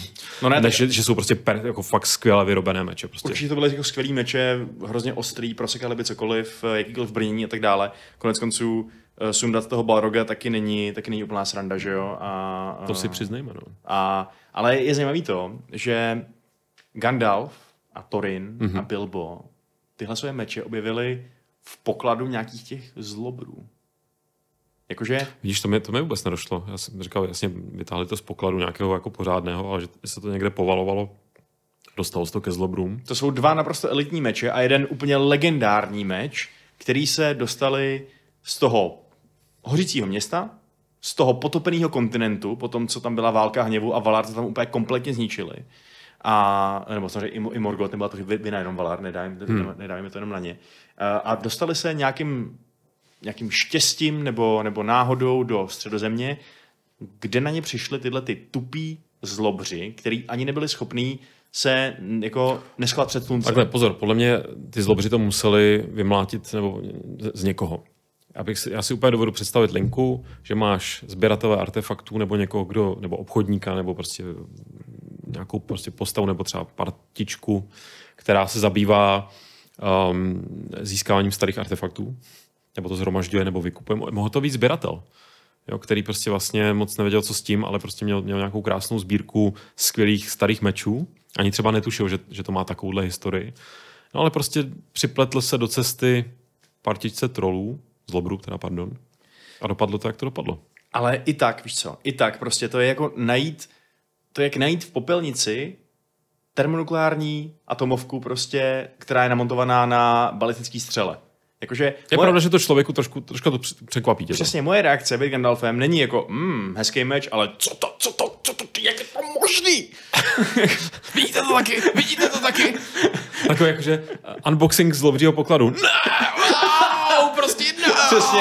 A skáče prostě před kamerou a všichni ho pozory. Tak možná, ale tak víš co, um, já si nepamatuju, jak, jestli to nějak jako rozebíráno Hobbitovi. A ten moment, kdy to najdou. Jestli to je po, jako, Jo, Gandalf pozná okamžitě, že to je, že to je dobrá čepel, ale Elrond mu potom řekne, co to je reálně za meč. jo, takhle. No, tak to taky dává smysl, pojďme si říct, že nemusí Gandalf zase vědět všechno. Jo, jo, nemusí, no. Takže zaprvé to vysvětluje trochu tu reakci, mm. že, že nebyla tak intenzivní. Ale v té dokonce to možná o tom mohlo jako rozjet, no. Pořádně to zapít, ale... To mo- tak to, pardon. Možná to udělal, možná to neviděl, že jo. Možná to udělal, já do té dětské knížky se to úplně nedostalo. Ale, ale spíš, takhle, tak tohle tím pádem neplatí, ale napadlo mě, že samozřejmě Gandalf by mohl dělat, že ne, neví, co to je, protože kdyby to tam vyhlásil, tak se třeba trpaslíci v tu chvíli otočí proti němu a nejdou za pokladem. A, nevíš, jako, že to, že prostě nechceš, nechceš úplně dávat najevo, co jsi to vlastně našel, protože můžeš mít pocit, že kdyby ostatní věděli, že máš termonukleární jadernou hlavici, tak by to trošku změnilo jejich přístup k tobě. Jasně, ale Elrond zároveň řekl Torinovi, že ten jeho Orkrist je vlastně tak jako sesterský Jo, meč jo, tohle toho, tak, takže uh, no.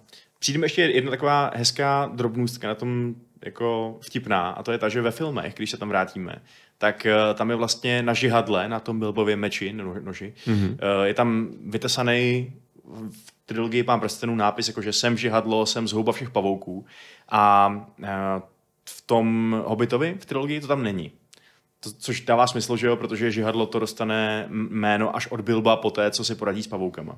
Jasně, uh, což by dávalo smysl, proč, kdyby tam bylo od začátku, bys čekal, že to bude svítit v přítomnosti pavouků. Přesně tak, no. A přijde mi hrozně vtipná představa, že Bilbovi se tak strašně líbil ten jeho nápad s tím jménem, že šel za elfama a řekl, prosím vás, můžete mi vyrejt ten můj nápis elfskýma runama do toho. A tak možná dostal nějaký poukaz, víš si myslím, jakože prostě uh, u kovářů jakože takový jako slevový kupon na uh, gravírování a kustomizace tak než, než vyrazil, tak si říká, a ještě si tam dám nějaký pekný jako ten vzkaz. Ale možná, že to udělali pro něj jako Ale ber, ber, ber, že jako elfové mají rádi historky, hmm. rádi si vypráví věci a tohle je vlastně způsob, jak uchovat nějakou nějaký legendární moment nebo vítěznou bitvu nebo něco, jo, jo. proč bys to tam nenapsal? Jo, že? je to pravda, no. Je to takový, pravda. takový deníček v podobě prostě díky. Je to pravda.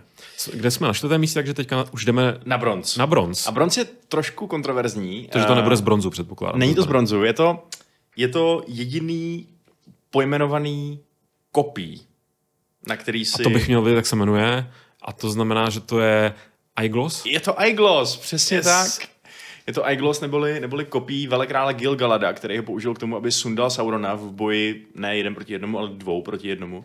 Uh, a já jsem ho dal takhle vysoko přesně proto, že za prvý je to hustý, uh, je to prostě přesně kopí, který um, který um, Vašek teď intenzivně přemýšlí a potřebuje si něco připomenout. To jenom jo, říkám pro posluchače podcastu. Aha, aha, aha. Pozor, já jsem měl chybu. Uh, ne. I, jo, je to tak, je to tak. iGloss je ve skutečnosti ten rampouch. Ringil ne, Ringil je něco jiného. Ringil znamená něco jiného. Taky něco s ledem si myslím, ale, ale něco jiného. Takže Rampouch je až teď tady, pozor. Tak já to zkusím hledat mezi tím. A... Teď si jenom představu ty lidi, co poslouchají ten podcast, že lineárně a prostě a věděli to a kolik, 40 minut si rvali vlastně, no to, já si ty kledby prostě. Glos, pro boha. Teď to do těch komentářů, to bude přesně ten komentář a pak tam bude reakce na ten komentář, že ten člověk napíše, konečně jste to řekli. Bože.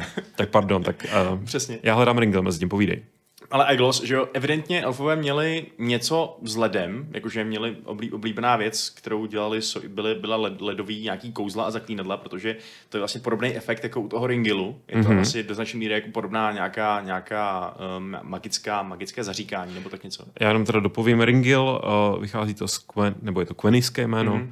a je to variace na Ringe, což má, to nevím, to čtu správně, to přehlasované Ečko tam je, ale znamená to chladný. Chladný, OK. A prý se třpitil jako led. Mm-hmm. Mm-hmm. Dobře, jo. zpátky k takže, Rampouchu. Takže Rampouch, uh, Rampouch je teda...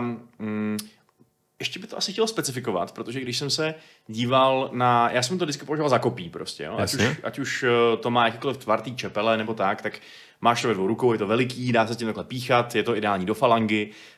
Uh, Gilgalad s tím dělal určitě nějaký hrozně cool triky, je to kopí. triky.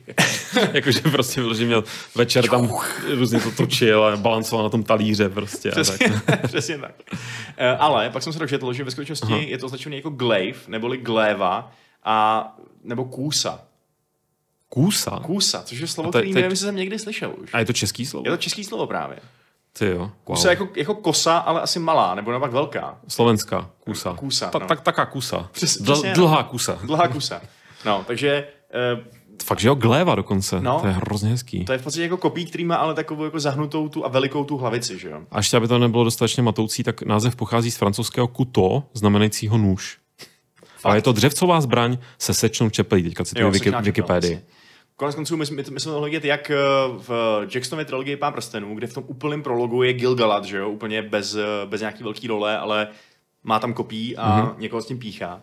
A teď významnější roli to určitě bude mít v seriálu Prsteny moci. Tam už jsme viděli iGloss, eh, ten Gilgalad ho tam měl jednou přes rameno. Byl takový metalicky šedej a, a připadal mi jako ne až tak impresivní, ale možná, že až ho uvidíme v boji proti skřetům tak to, a proti Sauronovi třeba, tak to ještě budeme něčím jiným. No. Je fakt, že kopí jsme v akci v, jako filmové nebo seriálové eh, Tolkienovské neviděli, ne? Jakoby vyloženě pořádně v akci. No právě, že moc ne, no. Hmm. Právě, že to je takový jako nepopulární věc. Jako... A že obecně, nebo takhle chci říct, vlastně nevybavuji si teďka moc žádný jako film, kde by nějak prominentně bylo kopí, pokud se nebavíme o historických prostě jako, nevím, Alexandrovi Velikém a No, tak, přesně. že tam je ta jízda většinou s tím kopím nějaká. No a i ta pěchota, že jo, falange. Ale to je přesně Jo, má, máš jako- pravdu, falangy samozřejmě, ale že by jako hrdina, takhle, že by hrdina nebo hrdinka měli jako tu signaturní zbraň kopí. Jako Achilles trošku v troje, že jo, Brad Pitt tam měl ty, takový ten mm. to, ale, ale jo, jako ono to prostě není moc sexy. Na to, jak je to No. nejpoužívanější uh, a nejefektivnější zbraň v historii válek Protože lidský, držíš nepřítele daleko od sebe, no. Přesně. tak ono zase v těch jako stísněných prostorách je kopí trošku nepraktické. No to jo, no, ale Představ si, většina, že- většina bitev, že jo, není v baráku, ale... Ne, to ne, ale myslím jako v těch filmech, kde se prostě Jo, jo, potom jo. jo. vydáš někam do nějakého podzemí nebo kopky, nedej bože, teď tam jako spříčíš, že jo. Si představu pořád tu partu, co prostě chodí těmi kopkami a vždycky ta jedna postava, většinou v mém případě nějaký jako lizardman nebo něco takového, tak prostě má to kopí, ta nějak to jde k sobě, vysoký, prostě hmm. reptiloidní, eh, plazovitý, jsem chtěl říct, eh, hrdina, hrdinka, tak mají kopí a teď prostě fakt jako dostaň to nějakým úzkým průchodem. Jako to, to je docela challenge. Jako. Když to máš takhle před sebe, tak zase musí všichni popojit si dopředu hodně, aby se jako nepíchnul. Já myslím, já myslím že obecně eh, jako kop, dlouhá kopí v kopkách je problematika, která by měla být více jako zpracovávaná. Já vidím takový, takový ty hloupý psy, jak prostě s tím Jo. prostě naráží o ty ale ono fakt, jako, víš co, i když to prostě natočíš jinak, najednou prostě místo toho, abys uh, řešil postup eh, dál, tak řešíš ješka v koci. Jasně, no, ale... Kopí v kopce. Ale jako je to takový, že, že kopí je tvůj samopal a meč je tvoje pistole, že jo? Prostě jako side to arm, no. kterou Tak, použiješ eh, ve chvíli, kdy potřebuješ. A když to no. máš na výšku, musíš hrozně sklánět prostě. To no. Ale tak prostě, aspoň hele, Gilgalad je vidět, proč byl velikrál, jako jediný pochopil, že kopí je fakt dobrá věc. A, A nechodil do kobek zároveň. Přesně tak, no, nechodil. Držel, Byl čert drž, kříži. držel se v otevřených velkých, možná proto jsou ty elfská místa taková obří, aby prostě Gilgalad mohl pohodlně procházet tam a, tam a zpátky, podle mě. No. Budeme žít v lese, to je pohoda. A zase můžeš dobře jako sklízet třeba ovoce, takhle. No to je strašně praktická věc vlastně, ale hodně jako by potom determinuje uh, tvoje, uh, tvůj interiérový design. Jo, no. O iGloss je mimochodem hezká písnička od Lonely Mountain Band, která se jmenuje iGloss Mhm. mm-hmm. a má jinou vadu a to je ta, že ten zpěvák neumí zpívat, ale... Ale to se občas super. různým uh, Tolkienovským kapelám stává. A, Je to a- tak. Je to tam srdci, ne, o těch hlasivkách. Je to přesně, přesně tak, no. Ale ještě mi, ještě mi pověs, já jsem si z nějakého důvodu vždycky, vždycky měl, měl za to, že nějaká špička, že nějaká hora se tak jmenuje, nebo nějaká špice nějaké hory. A to jsem si jenom vytvořil ve své mysli. Není ni- nikde iGloss nějaká, nebo nějak podobně znějící. Zajímavá myšlenka. Ne, to je možná úplně jako s, tě svádím teďka na cestí, kam se vůbec nemusíme vydávat, jo. Ale já si totiž myslím, že možná to vzniklo tak, že to Gilgaladovo kopí bylo popisované jako, že to je špička nějakého, a přesně to ten rampouch, a já jsem si to nějak, mě se to překřížilo v té mé prostě, Byla ještě kitka, iGloss. jo, kitka, no, tak to taky není úplně hora, pojďme si přiznat. Sněžný trn, což je zajímavý, že vlastně sněžný trn je stejný slovo jako rampouch. Ale je pravda, že možná se mi to pomíchalo takhle, že já jsem si prostě říkal, že sněžný trn mi zní z nějakého důvodu jako špička hory. Hm. No, Stát se to mohlo. U tebe, Lukáš, stát cokoliv. u, v mé hlavě se může stát skutečně lecos. Uh, ale my už půjdeme na druhou pozici. Jo. Já bych teda mimochodem iGloss bych dal níž. Jo, jo. Já, já jsem si taky říkal. Protože, no, jako, protože prostě nemá ten, jako dobře, bojoval se Sauronem, nebo, nebo byl použit v boji se Sauronem, ale nemá ten track record podle mě tak silný. Hmm. a možná to jako unikátní, víš, jakože to je prostě Unikátní je, ale myslím si, že tady už Kůsa. v té první, eh, ta je, kůsa je super, jsem rád, že jsem se dozvěděl, že česky se dá říct gléva a kůsa, ale mám pocit, že v první pětce bys už měl mít skutečně i, i ten track record. Asi možná Takže jo. já bych klidně prohodil iGloss s něčím tam z té druhé pětky, ale mm. pojďme na druhé místo. Mm. Eh, Potom samozřejmě nám do komentářů hoďte vlastní žebříček, klidně s nějakými úplně jinými zbraněma. To se Rozhodně. Rozumí samo sebou. Druhé místo, neboli uh, stříbrná pozice, tak uh, je jedna zbraň, která je poměrně legendární v tom Tolkienovském legendáriu a to je Anglachel neboli Gurtang. Vůbec nevím, o čem mluvíš teď. Je to meč, který, jo, já tady mám poznámku, Co, co, tady- co pak jsi tam napsal? napsal jsem si do poznámky, kurva, ono to mluví. Je to, A počkej, to, jako, Je to mluvící o, mě- meč. O, jo, o tom meči, já myslím, že mluvíš o mě teďka, jako jsme tady uh, hostovi, no nic, dobře. Ono to mluví.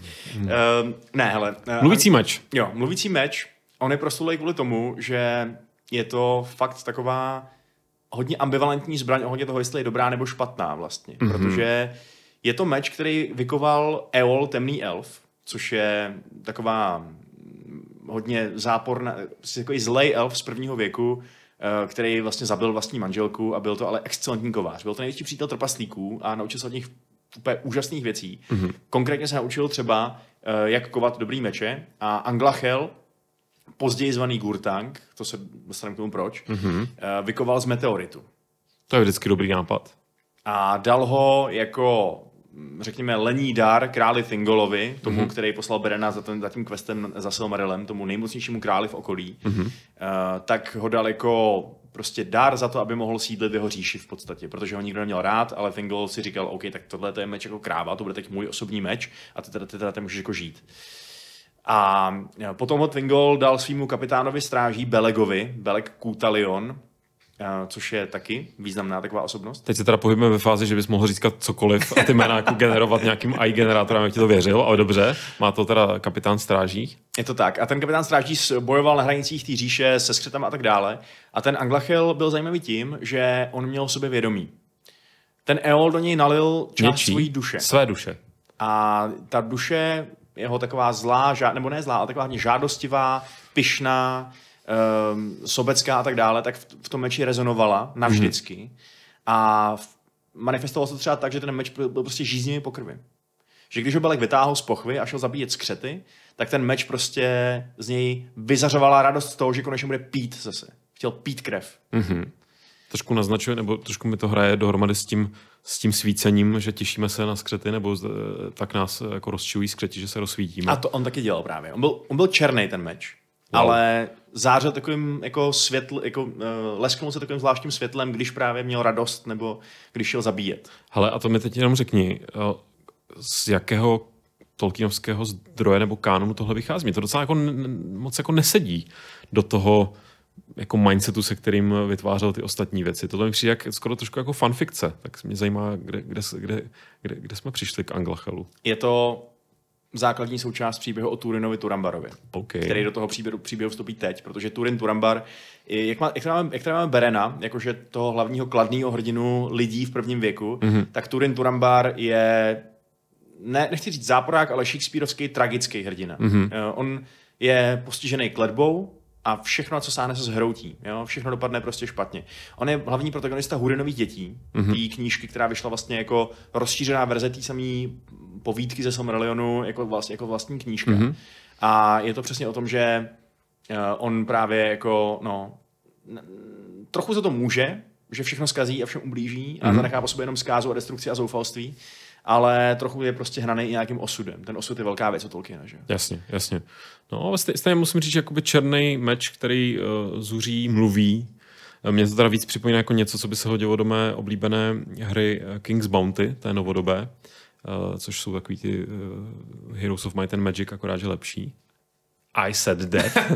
ale ne, ne ve všem, ale v lečem z tehdy lepší. Ne, a jako je to takový D&Dčkový trošku. No, taky jako, no, ale tam, tam, máš, tam máš vyloženě uh, takovou vlastně no myslím, že i nějaké, nějaké jako meče tam, nebo jako nějaké zbraně tam mluví, ale že vlastně můžeš uh, bojovat uh, prostě jakoby se nějak jako teleportovat dovnitř těch zbraní a tam pak svádět boje a pak na tebe mluví vlastně tvoji nějak taková skřínka s nějakým jako draky, nebo co to, já už to teda moc nepamatuju, jak jste asi pochopili, ale, ale jako obecně koncept jakoby zbraní nebo artefaktů, které mají svoje vlastní vědomí, mě vždycky hrozně bavil. Mm-hmm. To mám hrozně rád třeba uh, v Dishonored, že je tam to mluvící srdce, to je nádherný.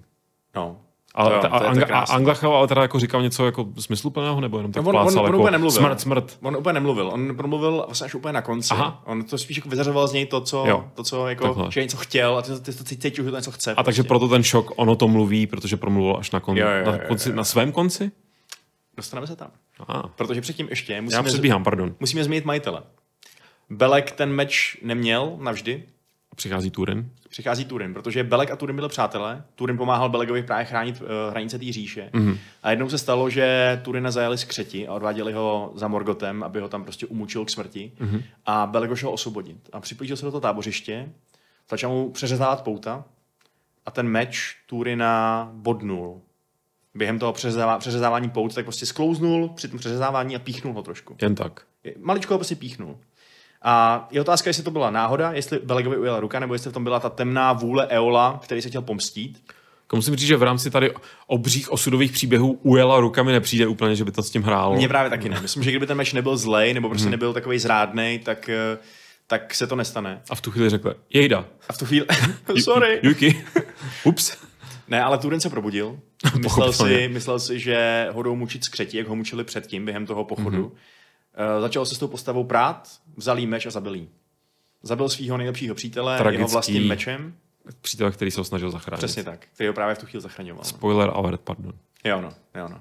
A Gurtang, nebo tehdy ještě Anglachel, tak právě od té doby byl už jenom černý, už nezářil. A truchlil za Belega. Takže ne, Fňuk, jakože eh, š- štkal. jako prostě Jak truchlý meč? jakože ne, ne, ne, ne, nepředstavuji si to asi jako nějaký audio efekty, ale spíš jako Ale rád bych. to, co vyzařuje z, tý, jako z toho meče za nějaký pocit. Víš? Jo, jo, jo. Vytasíš a víš, že prostě se právě vytasil jako zosobnění nebo jako zoufalství v podobě meče. A což je zajímavý, protože Nemůžu si pomoct, ale hrozně mi bavilo, kdyby, kdyby fakt jako to bylo trošku audio, že bys to fakt jako vytasil a úplně, ne, uh, už zase, bože. jo no, A nebo kdyby tě, nebo ne, ne, pojďme se být teďka trošku jako kreativnější, kdyby, kdyby tě spitoval hodně. Kdyby fakt jako ti prostě rozmlouval to, jak rozséváš tu smrt. to jo no. Pacifi- Soudil by tě. Pacifistický meč, který tě soudí. To je Uh, dobrý koncept, to už doufám někdo Určitě, vymyslel. určitě to někdo vymyslel, samozřejmě. No. Uh, ale nicméně teda je vidět, že Gurtang, eh, nebo An- Anglachel, takže měl Ještě právě, pořád Anglachel. Ještě pořád Anglachel, Dobře. že měl teda toho svého pána Belega nějakým způsobem rád a že mu připadalo, že tahle ta, tohleto jakoby vražda nebo zabití, který provedl Turin, bylo vlastně jako nějakým způsobem odsouzení hodný, protože Uh, on mu potom teda sloužil, Turin si nechal ten meč, protože to byl, byl to jako úžasný meč, byl to meč, který dokázal, to tam, tam přímo psáno, proseknout železo. To se hodí. Což se hodí jak, jako kráva. I v Když- dílně třeba. když, no, a nebo třeba když máš skřet a co proti to bude šavlí a tomu prostě prosekneš šavly a zabiješ ho tím. Tak jako, hmm. To je užitečný. Uh, ale právě uh, Turin ho nechal překovat, ten meč, nějakým způsobem. On zůstal černý, ale, uh, ale Turin mu potom říkal Gurtang, což je železo smrti. Prostě, protože už... A to překování předpokládám bylo asi motivováno tím, jako změnit trochu ten... Jo, jo, jo. Nebo, nebo nějak možná naopak přiznat to, že to má ten tragický osud a že ten Turin asi nebyl úplně nadšený z toho. No, taky si myslím, že nebyl. Taky si myslím, že nebyl. A dostal teda nové jméno Gurtang. Dostal nové jméno Gurtang právě a on byl právě specifický i v tom, že jak jsme se tady bavili o těch eh, nožích, který trefí na zgula a rozpustějí se třeba, mm-hmm. tak tohle by se Gurtangu nestalo, protože on byl právě uh, specifický tím, že dokázal jako pít libovolnou krev a posílit se tím prostě a užívat si to. Když tím Turin probodl draka, otce draku Glaurunga, mm-hmm. tak eh, právě místo, aby se ten meč spálil, což by se stalo všem ostatním mečům, tak naopak prostě uh, Gurtang se to užíval Na expil. a, a, a prostě byl, jako, byl, byl z toho jako šťastný. Hmm. Ale um, zároveň teda Turin, protože byl tra- tragický hrdina, tak s tím mečem páchal i zločiny. Zabil člověka, nevinného člověka, o kterém si myslel, že je vinen, ale prostě pro, a, jako neobtěžoval se úplně zjišťovat nějaký důkazy, nebo tak hmm. prostě ho zabil. A ten meč ho Turina v podstatě jako nenáviděl, odsuzoval ho právě za to, že je to vrah svého přítele. No, takže vlastně ho lidí. soudil, no. Vlastně ho soudil, dalo by si říct, že jo. Akorát nemluvil pořád ještě tehdy. nemluvil. Ale tohle, Schovával si to na správnou chvíli. Přesně tak. A v tu správnou chvíli mu to právě, jako, řekněme, jako vyčinil, protože se tam seběhly určitý věci v tom příběhu. Já to nebudu tady úplně teď do toho zacházet do podrobností. To si taky asi někdy řekneme, ten příběh Můžeme. je velkolepý. Mm-hmm. Uh, ale zkrátka dobře Turin se rozhodl spáchat sebevraždu. Protože už mu už prostě neměl pro co žít a udělal toho strašně mm-hmm. moc špatného. A uh, Gurtang tehdy promluvil. On, on, Turin se ho zeptal, jestli bude, bude, budeš pít mojí krev meči, jako se pil krev tolika jiných a ten meč mu říkal, A ten meč mu říkal, it's a match. Eh. Uh, uh, pardon. ne. No, dobře. ten meč mu říkal, že bude pít jeho krev, stejně jako pil krev nevinného Belega a nevinného Brandira a tak mu to jako vytlavil Začal nakonec. jo. Prostě Mhm. to, to, co dělal špatně, takže jako teď teda za to se mu pomstí tím, že ho zabije vlastně. Ale nedořekneme, neuříte, co se stalo pak. Musíme to trošku zatýzovat. Uh, no, jako Nebo to propálíš, jak to dopadlo. propálím to asi propálím, protože uh, to, to byl poslední akt Gurtangu. Pak se zlomil. Během toho. Když na Turin nalehl. O Turina se zlomil. O Turina. Ale asi už skrz Turina. nějak. Skrz Turina. Jo. Hm. Jakože zemřeli spolu. Tyhle ty dva, Uf. tyhle ty dvě bytosti, I guess, který spolu napáchali tolik zla vlastně. Nějaký dobro, ale spoustu zla. Pokud se vám líbil tento příběh, nebo to naznačení tohoto příběhu, tak velmi doporučuji hru nesouvisející s Tolkienem, ale rozhodně související s mluvícími meči a ta hra se jmenuje Transistor. No to jo, no. To je To, parádní. jsem no. si na to takhle vzpomněl skrz to, co si teďka řekl. No, nicméně, Vašku, uh, jsme na prvním místě a mě dochází, já jsem si odvodil, co tam musí být. A přemýšlím, jestli s tím souhlasím nebo ne. Nepřekvapuje mě, že je to tahle volba, teď bylo teda krásné, kdybych se netrefil, ale podle mě není možné, aby jsme na prvním místě, potlesk, neměli Grond. Grond. Grond. Grond. Grond. A kdybychom měli jenom pět minut dělat Grond, Grond, Grond. A pak to vypnout. Um, okay, je to trošku mýmová volba, uznávám. Um, to bych zase neřekl, nebo jako je, ale, ale opodstatněná. Jako zase je to ikonická zbraň, je to pojmenovaná zbraň. Je a jsou to... dvě, že jo, vlastně. Máme kladivo a branidlo. Vidíš, to mi vůbec nedošlo třeba. Takže, takže vlastně podobný model, jako když jsme měli, co to bylo to deváté místo, byly dvě zbraně, myslím. Jo, jo, přesně tak, no. Takže, takže ty si na první místo dal dva různé grondy. Přesně tak. Měli něco společného, kromě toho se jmenovali stejně? Byl to OG Grond a Grond 2.0, no, ale... no jako, Měli společného to, že oba dva asi jako měli za úkol nějakým způsobem zničit svět těch svobodných lidí. Byly obě dvě, obě dvě zlý ty zbraně. Jasně, ale dejme tomu jakoby uh, součástkami. Není to tak, že první Grond byl nějak třeba zničen, nebo ne, nám povíš, jaký, ne, jaký osud očekal. To... Prostě jenom, když uh, já nevím, ty jsi říkal kladivo a Grond my samozřejmě uh, známe hlavně uh, jakožto to beranidlo z návratu krále, mm-hmm. které pro, proboří uh, brány Minas Minas Tirith tak eh, když prostě asi postavili úžasné obří branidlo a hledali název, udělali nějakou nejspíš říkám, Twitterovou anketu mezi skřety hmm. a všichni hlasovali pro Grond, Grond, protože jednak to je málo písmen, takže to nemusíš moc vypisovat složitě. Ale hlavně si to asi pamatovali, že kdysi to bylo to skvělé kladivo. Ne, ale Sauron si myslím, že byl takový, že rád poskytoval takový ty omáže tomu svým bývalému hmm. mistrovi Morgotovi. Čímž pádem kladivo původní Grond je Morgotovská zbraň. Přesně tak. Grond neboli kladivo podsvětí je osobní zbraň Morgota Bauglera, toho největšího temného pána všech dob který uh, byl sám o sobě prostě veliký jako hora, prostě byl obrov, jako, ne úplně jako hora doslova, ale tyčil se nad všema, Všem. kdo by tak. se mu chtěli postavit. A my jsme tady už slyšeli o někom, kdo se mu postavil. Jo, já myslel, že jsme slyšeli o nějakém velké zbraně a chtěl jsem říct řemdich. Ale uh, ano, slyšeli jsme o... O Fingolfinovi. Fingolfinovi. Ten král, který se s Ringilem, uh, ne s Rampuchem, ne s Rampuchem, postavil Morgotovi v boji muže proti muži v tom největším souboji, který prostě je do dneška nejprosluvější v historii středozemě nebo Ardy. A Um, Jakoby u nich, myslím, že jinak se o něm tady v našem světě za stovik neví, jako o nich soubojích. ano, ano. jako elfové o tom taky moc nespívají, protože jsou smutný z toho, jak to dopadlo. Ale, ale jo, jako je, to, je to hodně slavný čin. A právě, že to bylo takový trochu, taková trochu rozdíl v přístupech. Jako v Game of Thrones, když tam, když tam spolu bijou ten Oberyn s, se s Gregorem Cleganem. Tomu rozumíte vy, ale já jsem Game of Thrones nikdy neviděl, takže jo, netuším. No. Ale já znám Davida a Goliáše. OK, víceméně. Jo, Fingolfin... Nebo beru, že David je ještě úplně jako ten měl ten svůj práček. Jo, jo. No, jako, jako, že Fingolfin měl Fingolfin aspoň byl, prostě byl malej a rychlej a hbitej, takže volil taktiku uhýbání a sekání ze zálohy uskakování. Známe z eh, Dark Souls. Mečem, známe z Dark Souls. Zatímco Morgoth volil taktiku výjít ven. On, on moc nechtěl výjít ven do toho souboje. On byl docela jako... Líný. Spíš jako vystrašený, co to může znamenat. Myslím, že tušil, že tam na něj čeká nějaký zranění, a, ale nemohl to neudělat, protože by se potupil před svýma generálama a tak dále. Ale jako, jako spousta velkých padouchů prostě neměl rád jakoukoliv stopu bolesti, nebo Přesně že by tak. bylo ublíženo jemu. Přesně tak, no. A vyšel ven hrozně obrněný, hrozně prostě nařachaný, velký jak hora přesně. Uh, a s grondem. A, a v ruce měl grond, což bylo prostě gigantický, obrovský kladivo který když někam prásklo, tak to doprovázelo udeření blesku do toho místa. Příjemné. Příjemné. Takové thorovské. Přesně tak. A ještě navíc to vyhloubilo obrovský kráter. Um, takže si umíte představit, že to asi bylo jako pořádný kladivo. A, ale bylo to evidentně prostě špatně metagamingově zvolený, protože to bylo jako, byl to nevhodný counter proti, proti Fingolfinovi. Fingolfin bylo to pomalé. utíkal kolem, zatímco Morgan byl moc pomalý. Vždycky, ne, než to spadlo na zem, tak Fingolfin byl, byl jinde, že jo? Jasně.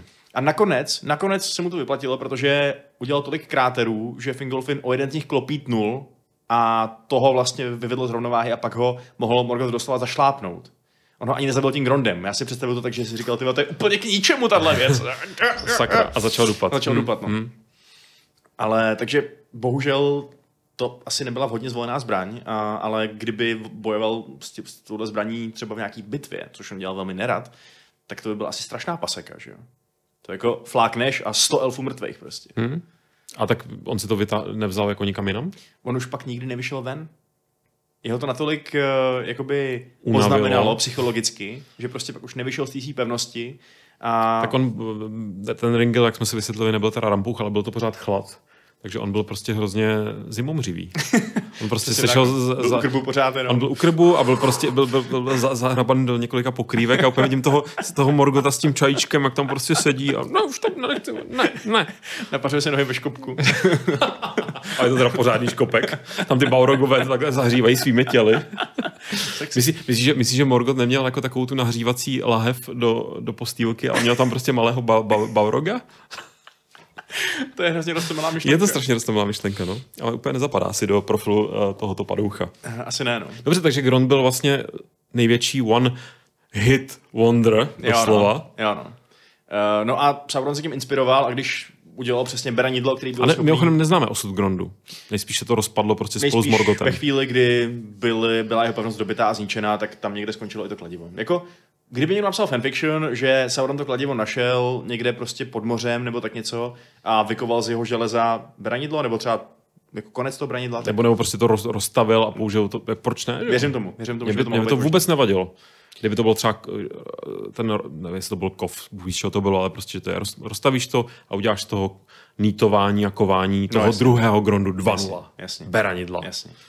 No ale to nebyla jediná omáž toho branidla, protože ono byl zároveň vytvarovaný do tvaru vlčí hlavy mm-hmm. na, a ta vlčí hlava byla, vypadala přesně jako ten karcharot, ten vlkodlak, který byl Morgotův eh, vlastně taky přisluhovač, že jo, takže uh, jo, když, když Sauron vzpomínal na starý dobrý časy, tak byl docela šťastný, tak, tak, to, si, tak si dělal to uměl udělat pěkně. No. nostalgický zbraně, no. Nicméně Grond uh, beranidlo, Hmm. a nevím, jako bylo použito víckrát než u Minas Tirith. Víme o tom, že by někde něco vybořilo. Ono bylo v podstatě designovaný specificky pro Minas Jo, bylo fakt očarovaný kouzlama, který měli za úkol zničit tu velkou bránu Minas Tirith, která byla jinak by byla asi těžko dobitelná. Takže Mhm. mm-hmm. když si, myslím, že dobrý, dobrý, dobrý, přirov- dobrý porovnání vizuální je v těch filmech Jacksonových, kde vlastně ve dvou věžích dobývají filmové žlebu, skřeky ty dveře úplně normálním jako, kla, jako kládu. Vezmou kládu a buší do toho. Tak kdyby Jasně. dělali u Minas Tirith, tak to nikdy nevyrazí. Potřebovali něco speciálního. Jasně. A To se mi hodně líbí, že máš vyloženě custom zbraň pro custom cíl. přesně tak, no. Že to není jako, máme 100 jaderných hlavic, ale nadizajnujeme jednu perfektní zbraň pro jeden perfektní účel, který se vlastně podařil. Jako Grond je vlastně perfektně úspěšná zbraň. tím Přesně tak, no. Splnila úkol, potřeboval si ty zlobry, aby, aby teda jako roz, Rozhoupali. Hmm. potřeboval si nějaký velký jako nestvůr, aby to táhli, takže ono jako chtělo by se ti tohle táhnout až jakoby do Rohanu vlastně, do Helmova žlebu. no, asi ne, no, asi Ten ne. přesun by za to podle mě nestal. ne? Asi ne, no. Po cestě spousta hraničářů číhajících, že jo? takže to, to je jako riskantní podle mě. Takže jako čistě co do efektivity, tak OK, branidlo mělo, splnilo svůj účel, kladivo úplně svůj účel nesplnilo, ale nevím, dohromady mi přijde, že Tak jako pomohlo mu nakonec s těmi krátery, že takže Jasně, no. Ale když máš, když máš vlastně jedno jméno, který zároveň označuje Morgotovu a Sauronovu oblíbenou zbraň, tak mi přijde, že to, že to není úplně špatný kandidát na tu zlatou medaili naší. No. Hmm. Já si teda pořád myslím, že ten hlavní důvod, proč je Gront na prvním místě, protože se jmenuje Gront. Přiznejme si to. Jako, kdo z vás ten mím nezná, tak běžte třeba jako na subreddit Pána prstenů a uvidíte, že polovina komentářů, nebo bývalo to víc teda v minulosti, ale i, i teď to tak prostě je, že obrovský sekvence komentářů, který jenom říkají gront, gront, gront, gront. Hm. Je to ale... tak, no. Eh, Já jako inherentně mám problém s tím, že na prvním místě je zbraň, která přísluší silám zla, ale nemám zase takový problém ti to tolerovat. Ale já si myslím, že dobro se nevy, nevy, nevyznačuje svýma zbraněma, ale svýma srdcema právě. Oh. Tak eh, to je zase krásné poselství, bych řekl na závěr našeho dnešního dílu. Ale ještě se na závěr zeptám, z té desítky, kdyby si mohl vybrat ty jednu zbraň. Jak jsme začínali tím, že jakou kategorii zbraní, tak tady, kdyby si měl vybrat z naší desítky, z tvé desítky. No, upřímně, jako, jak jsem říkal, mít pořádný numenorejský ocelový look by bylo super, ale já bych s ním nic neudělal. že jo? E, takže bych asi musel sáhnout po, po žihadle, protože s tím jediným bych dokázal něco udělat. Že? jo? Já bych asi byl hodně rozpolcený mezi Glamdringem, kvůli jménu, nebo jako me- meč, mám pocit, že bych jako Glam, Glam, Glamdring bych možná ještě unesl. A byť je to obouručák, že jo?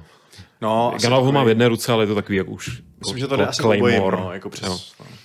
Ale přemýšlím, mně se prostě, byť, byť, teď se budu protiřečit, protože bych to v tom žebříčku dal níž, ale mě ten eyegloss, mě ten rampouch, ne, počkej, ramp, je to rampouch, Jo, je to rampouch, teď jsem sám se, se zamotal, mě to prostě nějak přitahuje. To je taky moje druhá varianta. Taky, taky moje jako... A já bych ho totiž použil jako hůl, že bych si zkombinoval to, to, to nejlepší z čarodějných holí, to, že se o ně můžeš opřít. Protože já nejsem čaroděj, že? tak já nemám co uh, soustředit nějakou magii. No jasně, no. Ale zároveň uh, by to bylo, že bych si mohl, je to je fakt praktická vlastně zbraň. I na ty jabka, když tak. Na ty jabka, přesně tak. Já bych chodil prostě na, na cokoliv, na třešně, na všechno. Jenom bych si teda tím pádem zamezil vstupy do stísněných prostor. Nevím, no. jestli bych mohl chodit do podcastu s iGlossem. To bych tady ne, neprošel takhle futry. To asi ne, no, to asi ne. Tak uh, musel bych si asi natáhnout za to. Ale já bych, ale... si, já, bych si, já bych si ho já bych ho rozpůlil, udělal bych jako šroubovací. To by bylo úplně skvělý. A mohl bys to mít jako dual wielding, že jo, prostě. Jako, že... No, ten jeden wielding by neměl tu špici, takže by to bylo spíš takové, podívejte na ten trik uh, s uh, tyčí. Sledujete, ale no. to by nikdo nečekal na poprvé. Ne, no, na poprvé ne, no, pak by se to asi rozkřiklo. Asi ano. To je ten blázen, co, co mává tyčí a pak se snaží vás puchnout. Ne, mě Aidos přijde, my z okolností natáčíme v den inaugurace nového českého prezidenta. Mm-hmm. A jak jsem eh, po dlouhé době jako vlastně sledoval ty různé jako eh, celou tu ceremonii na hradě, eh, po fakt jako skoro 20 letech, co jsem za, jako dost ignoroval, že ten dům tam jako stojí, tak se mi hrozně líbily ty, ty prostě, ty prapory, jak tam šly a tak, tak vlastně ten iGloss podle mě na to si můžeš něco při, přivázat a různě s tím jako mávat třeba. Jo, je to fakt, je to fakt Je to taková jako ceremoniální věc potenciálně, která má praktickou docela jako uh, funkci. Ale bach na to, že mrazí. Funkčnost. Takže když budeš a ještě mrazí. ty jabka, tak máš zmrzlinu z toho potom. A tak to taky může být, když se s tím naučíš pracovat, že to rovnou zamrazíš a máš prostě na, na zimu potom máš čerstvé ovoce. Na to... iGloss. A když zavoláte do 15 minut, dostanete k tomu ještě morgulskou díku. Vaši Jinak... nepřátelé nikdy nepochopí, co jim projelo srdcem. Jinak poslední, poslední ještě taková věcička, než úplně skončíme. Mm-hmm. Dostal jsem takový, takový nápad od někoho z našich posluchačů, mm-hmm. uh, že by se mu líbilo, a mě by zajímalo, jestli to je něco, co sdílíte třeba i vy, a, a, nebo ty Lukáši, mm-hmm. že by bylo hezký udělat nějaký díl nebo, nebo díly, který by byly v podstatě jako timeline, kronikářský přehled nějakých jako důležitých událostí prvního, druhého, třetího věku, aby se lidi trošku víc eh, orientovali v tom, o čem kdy se vlastně bavíme. Že my vlastně hodně přeskakujeme, hodně skáčeme z tématu na téma, hodně řešíme ty věky jakože uh, tak jako holisticky prostě jako moc řešíme, Jasně. jak to šlo po sobě.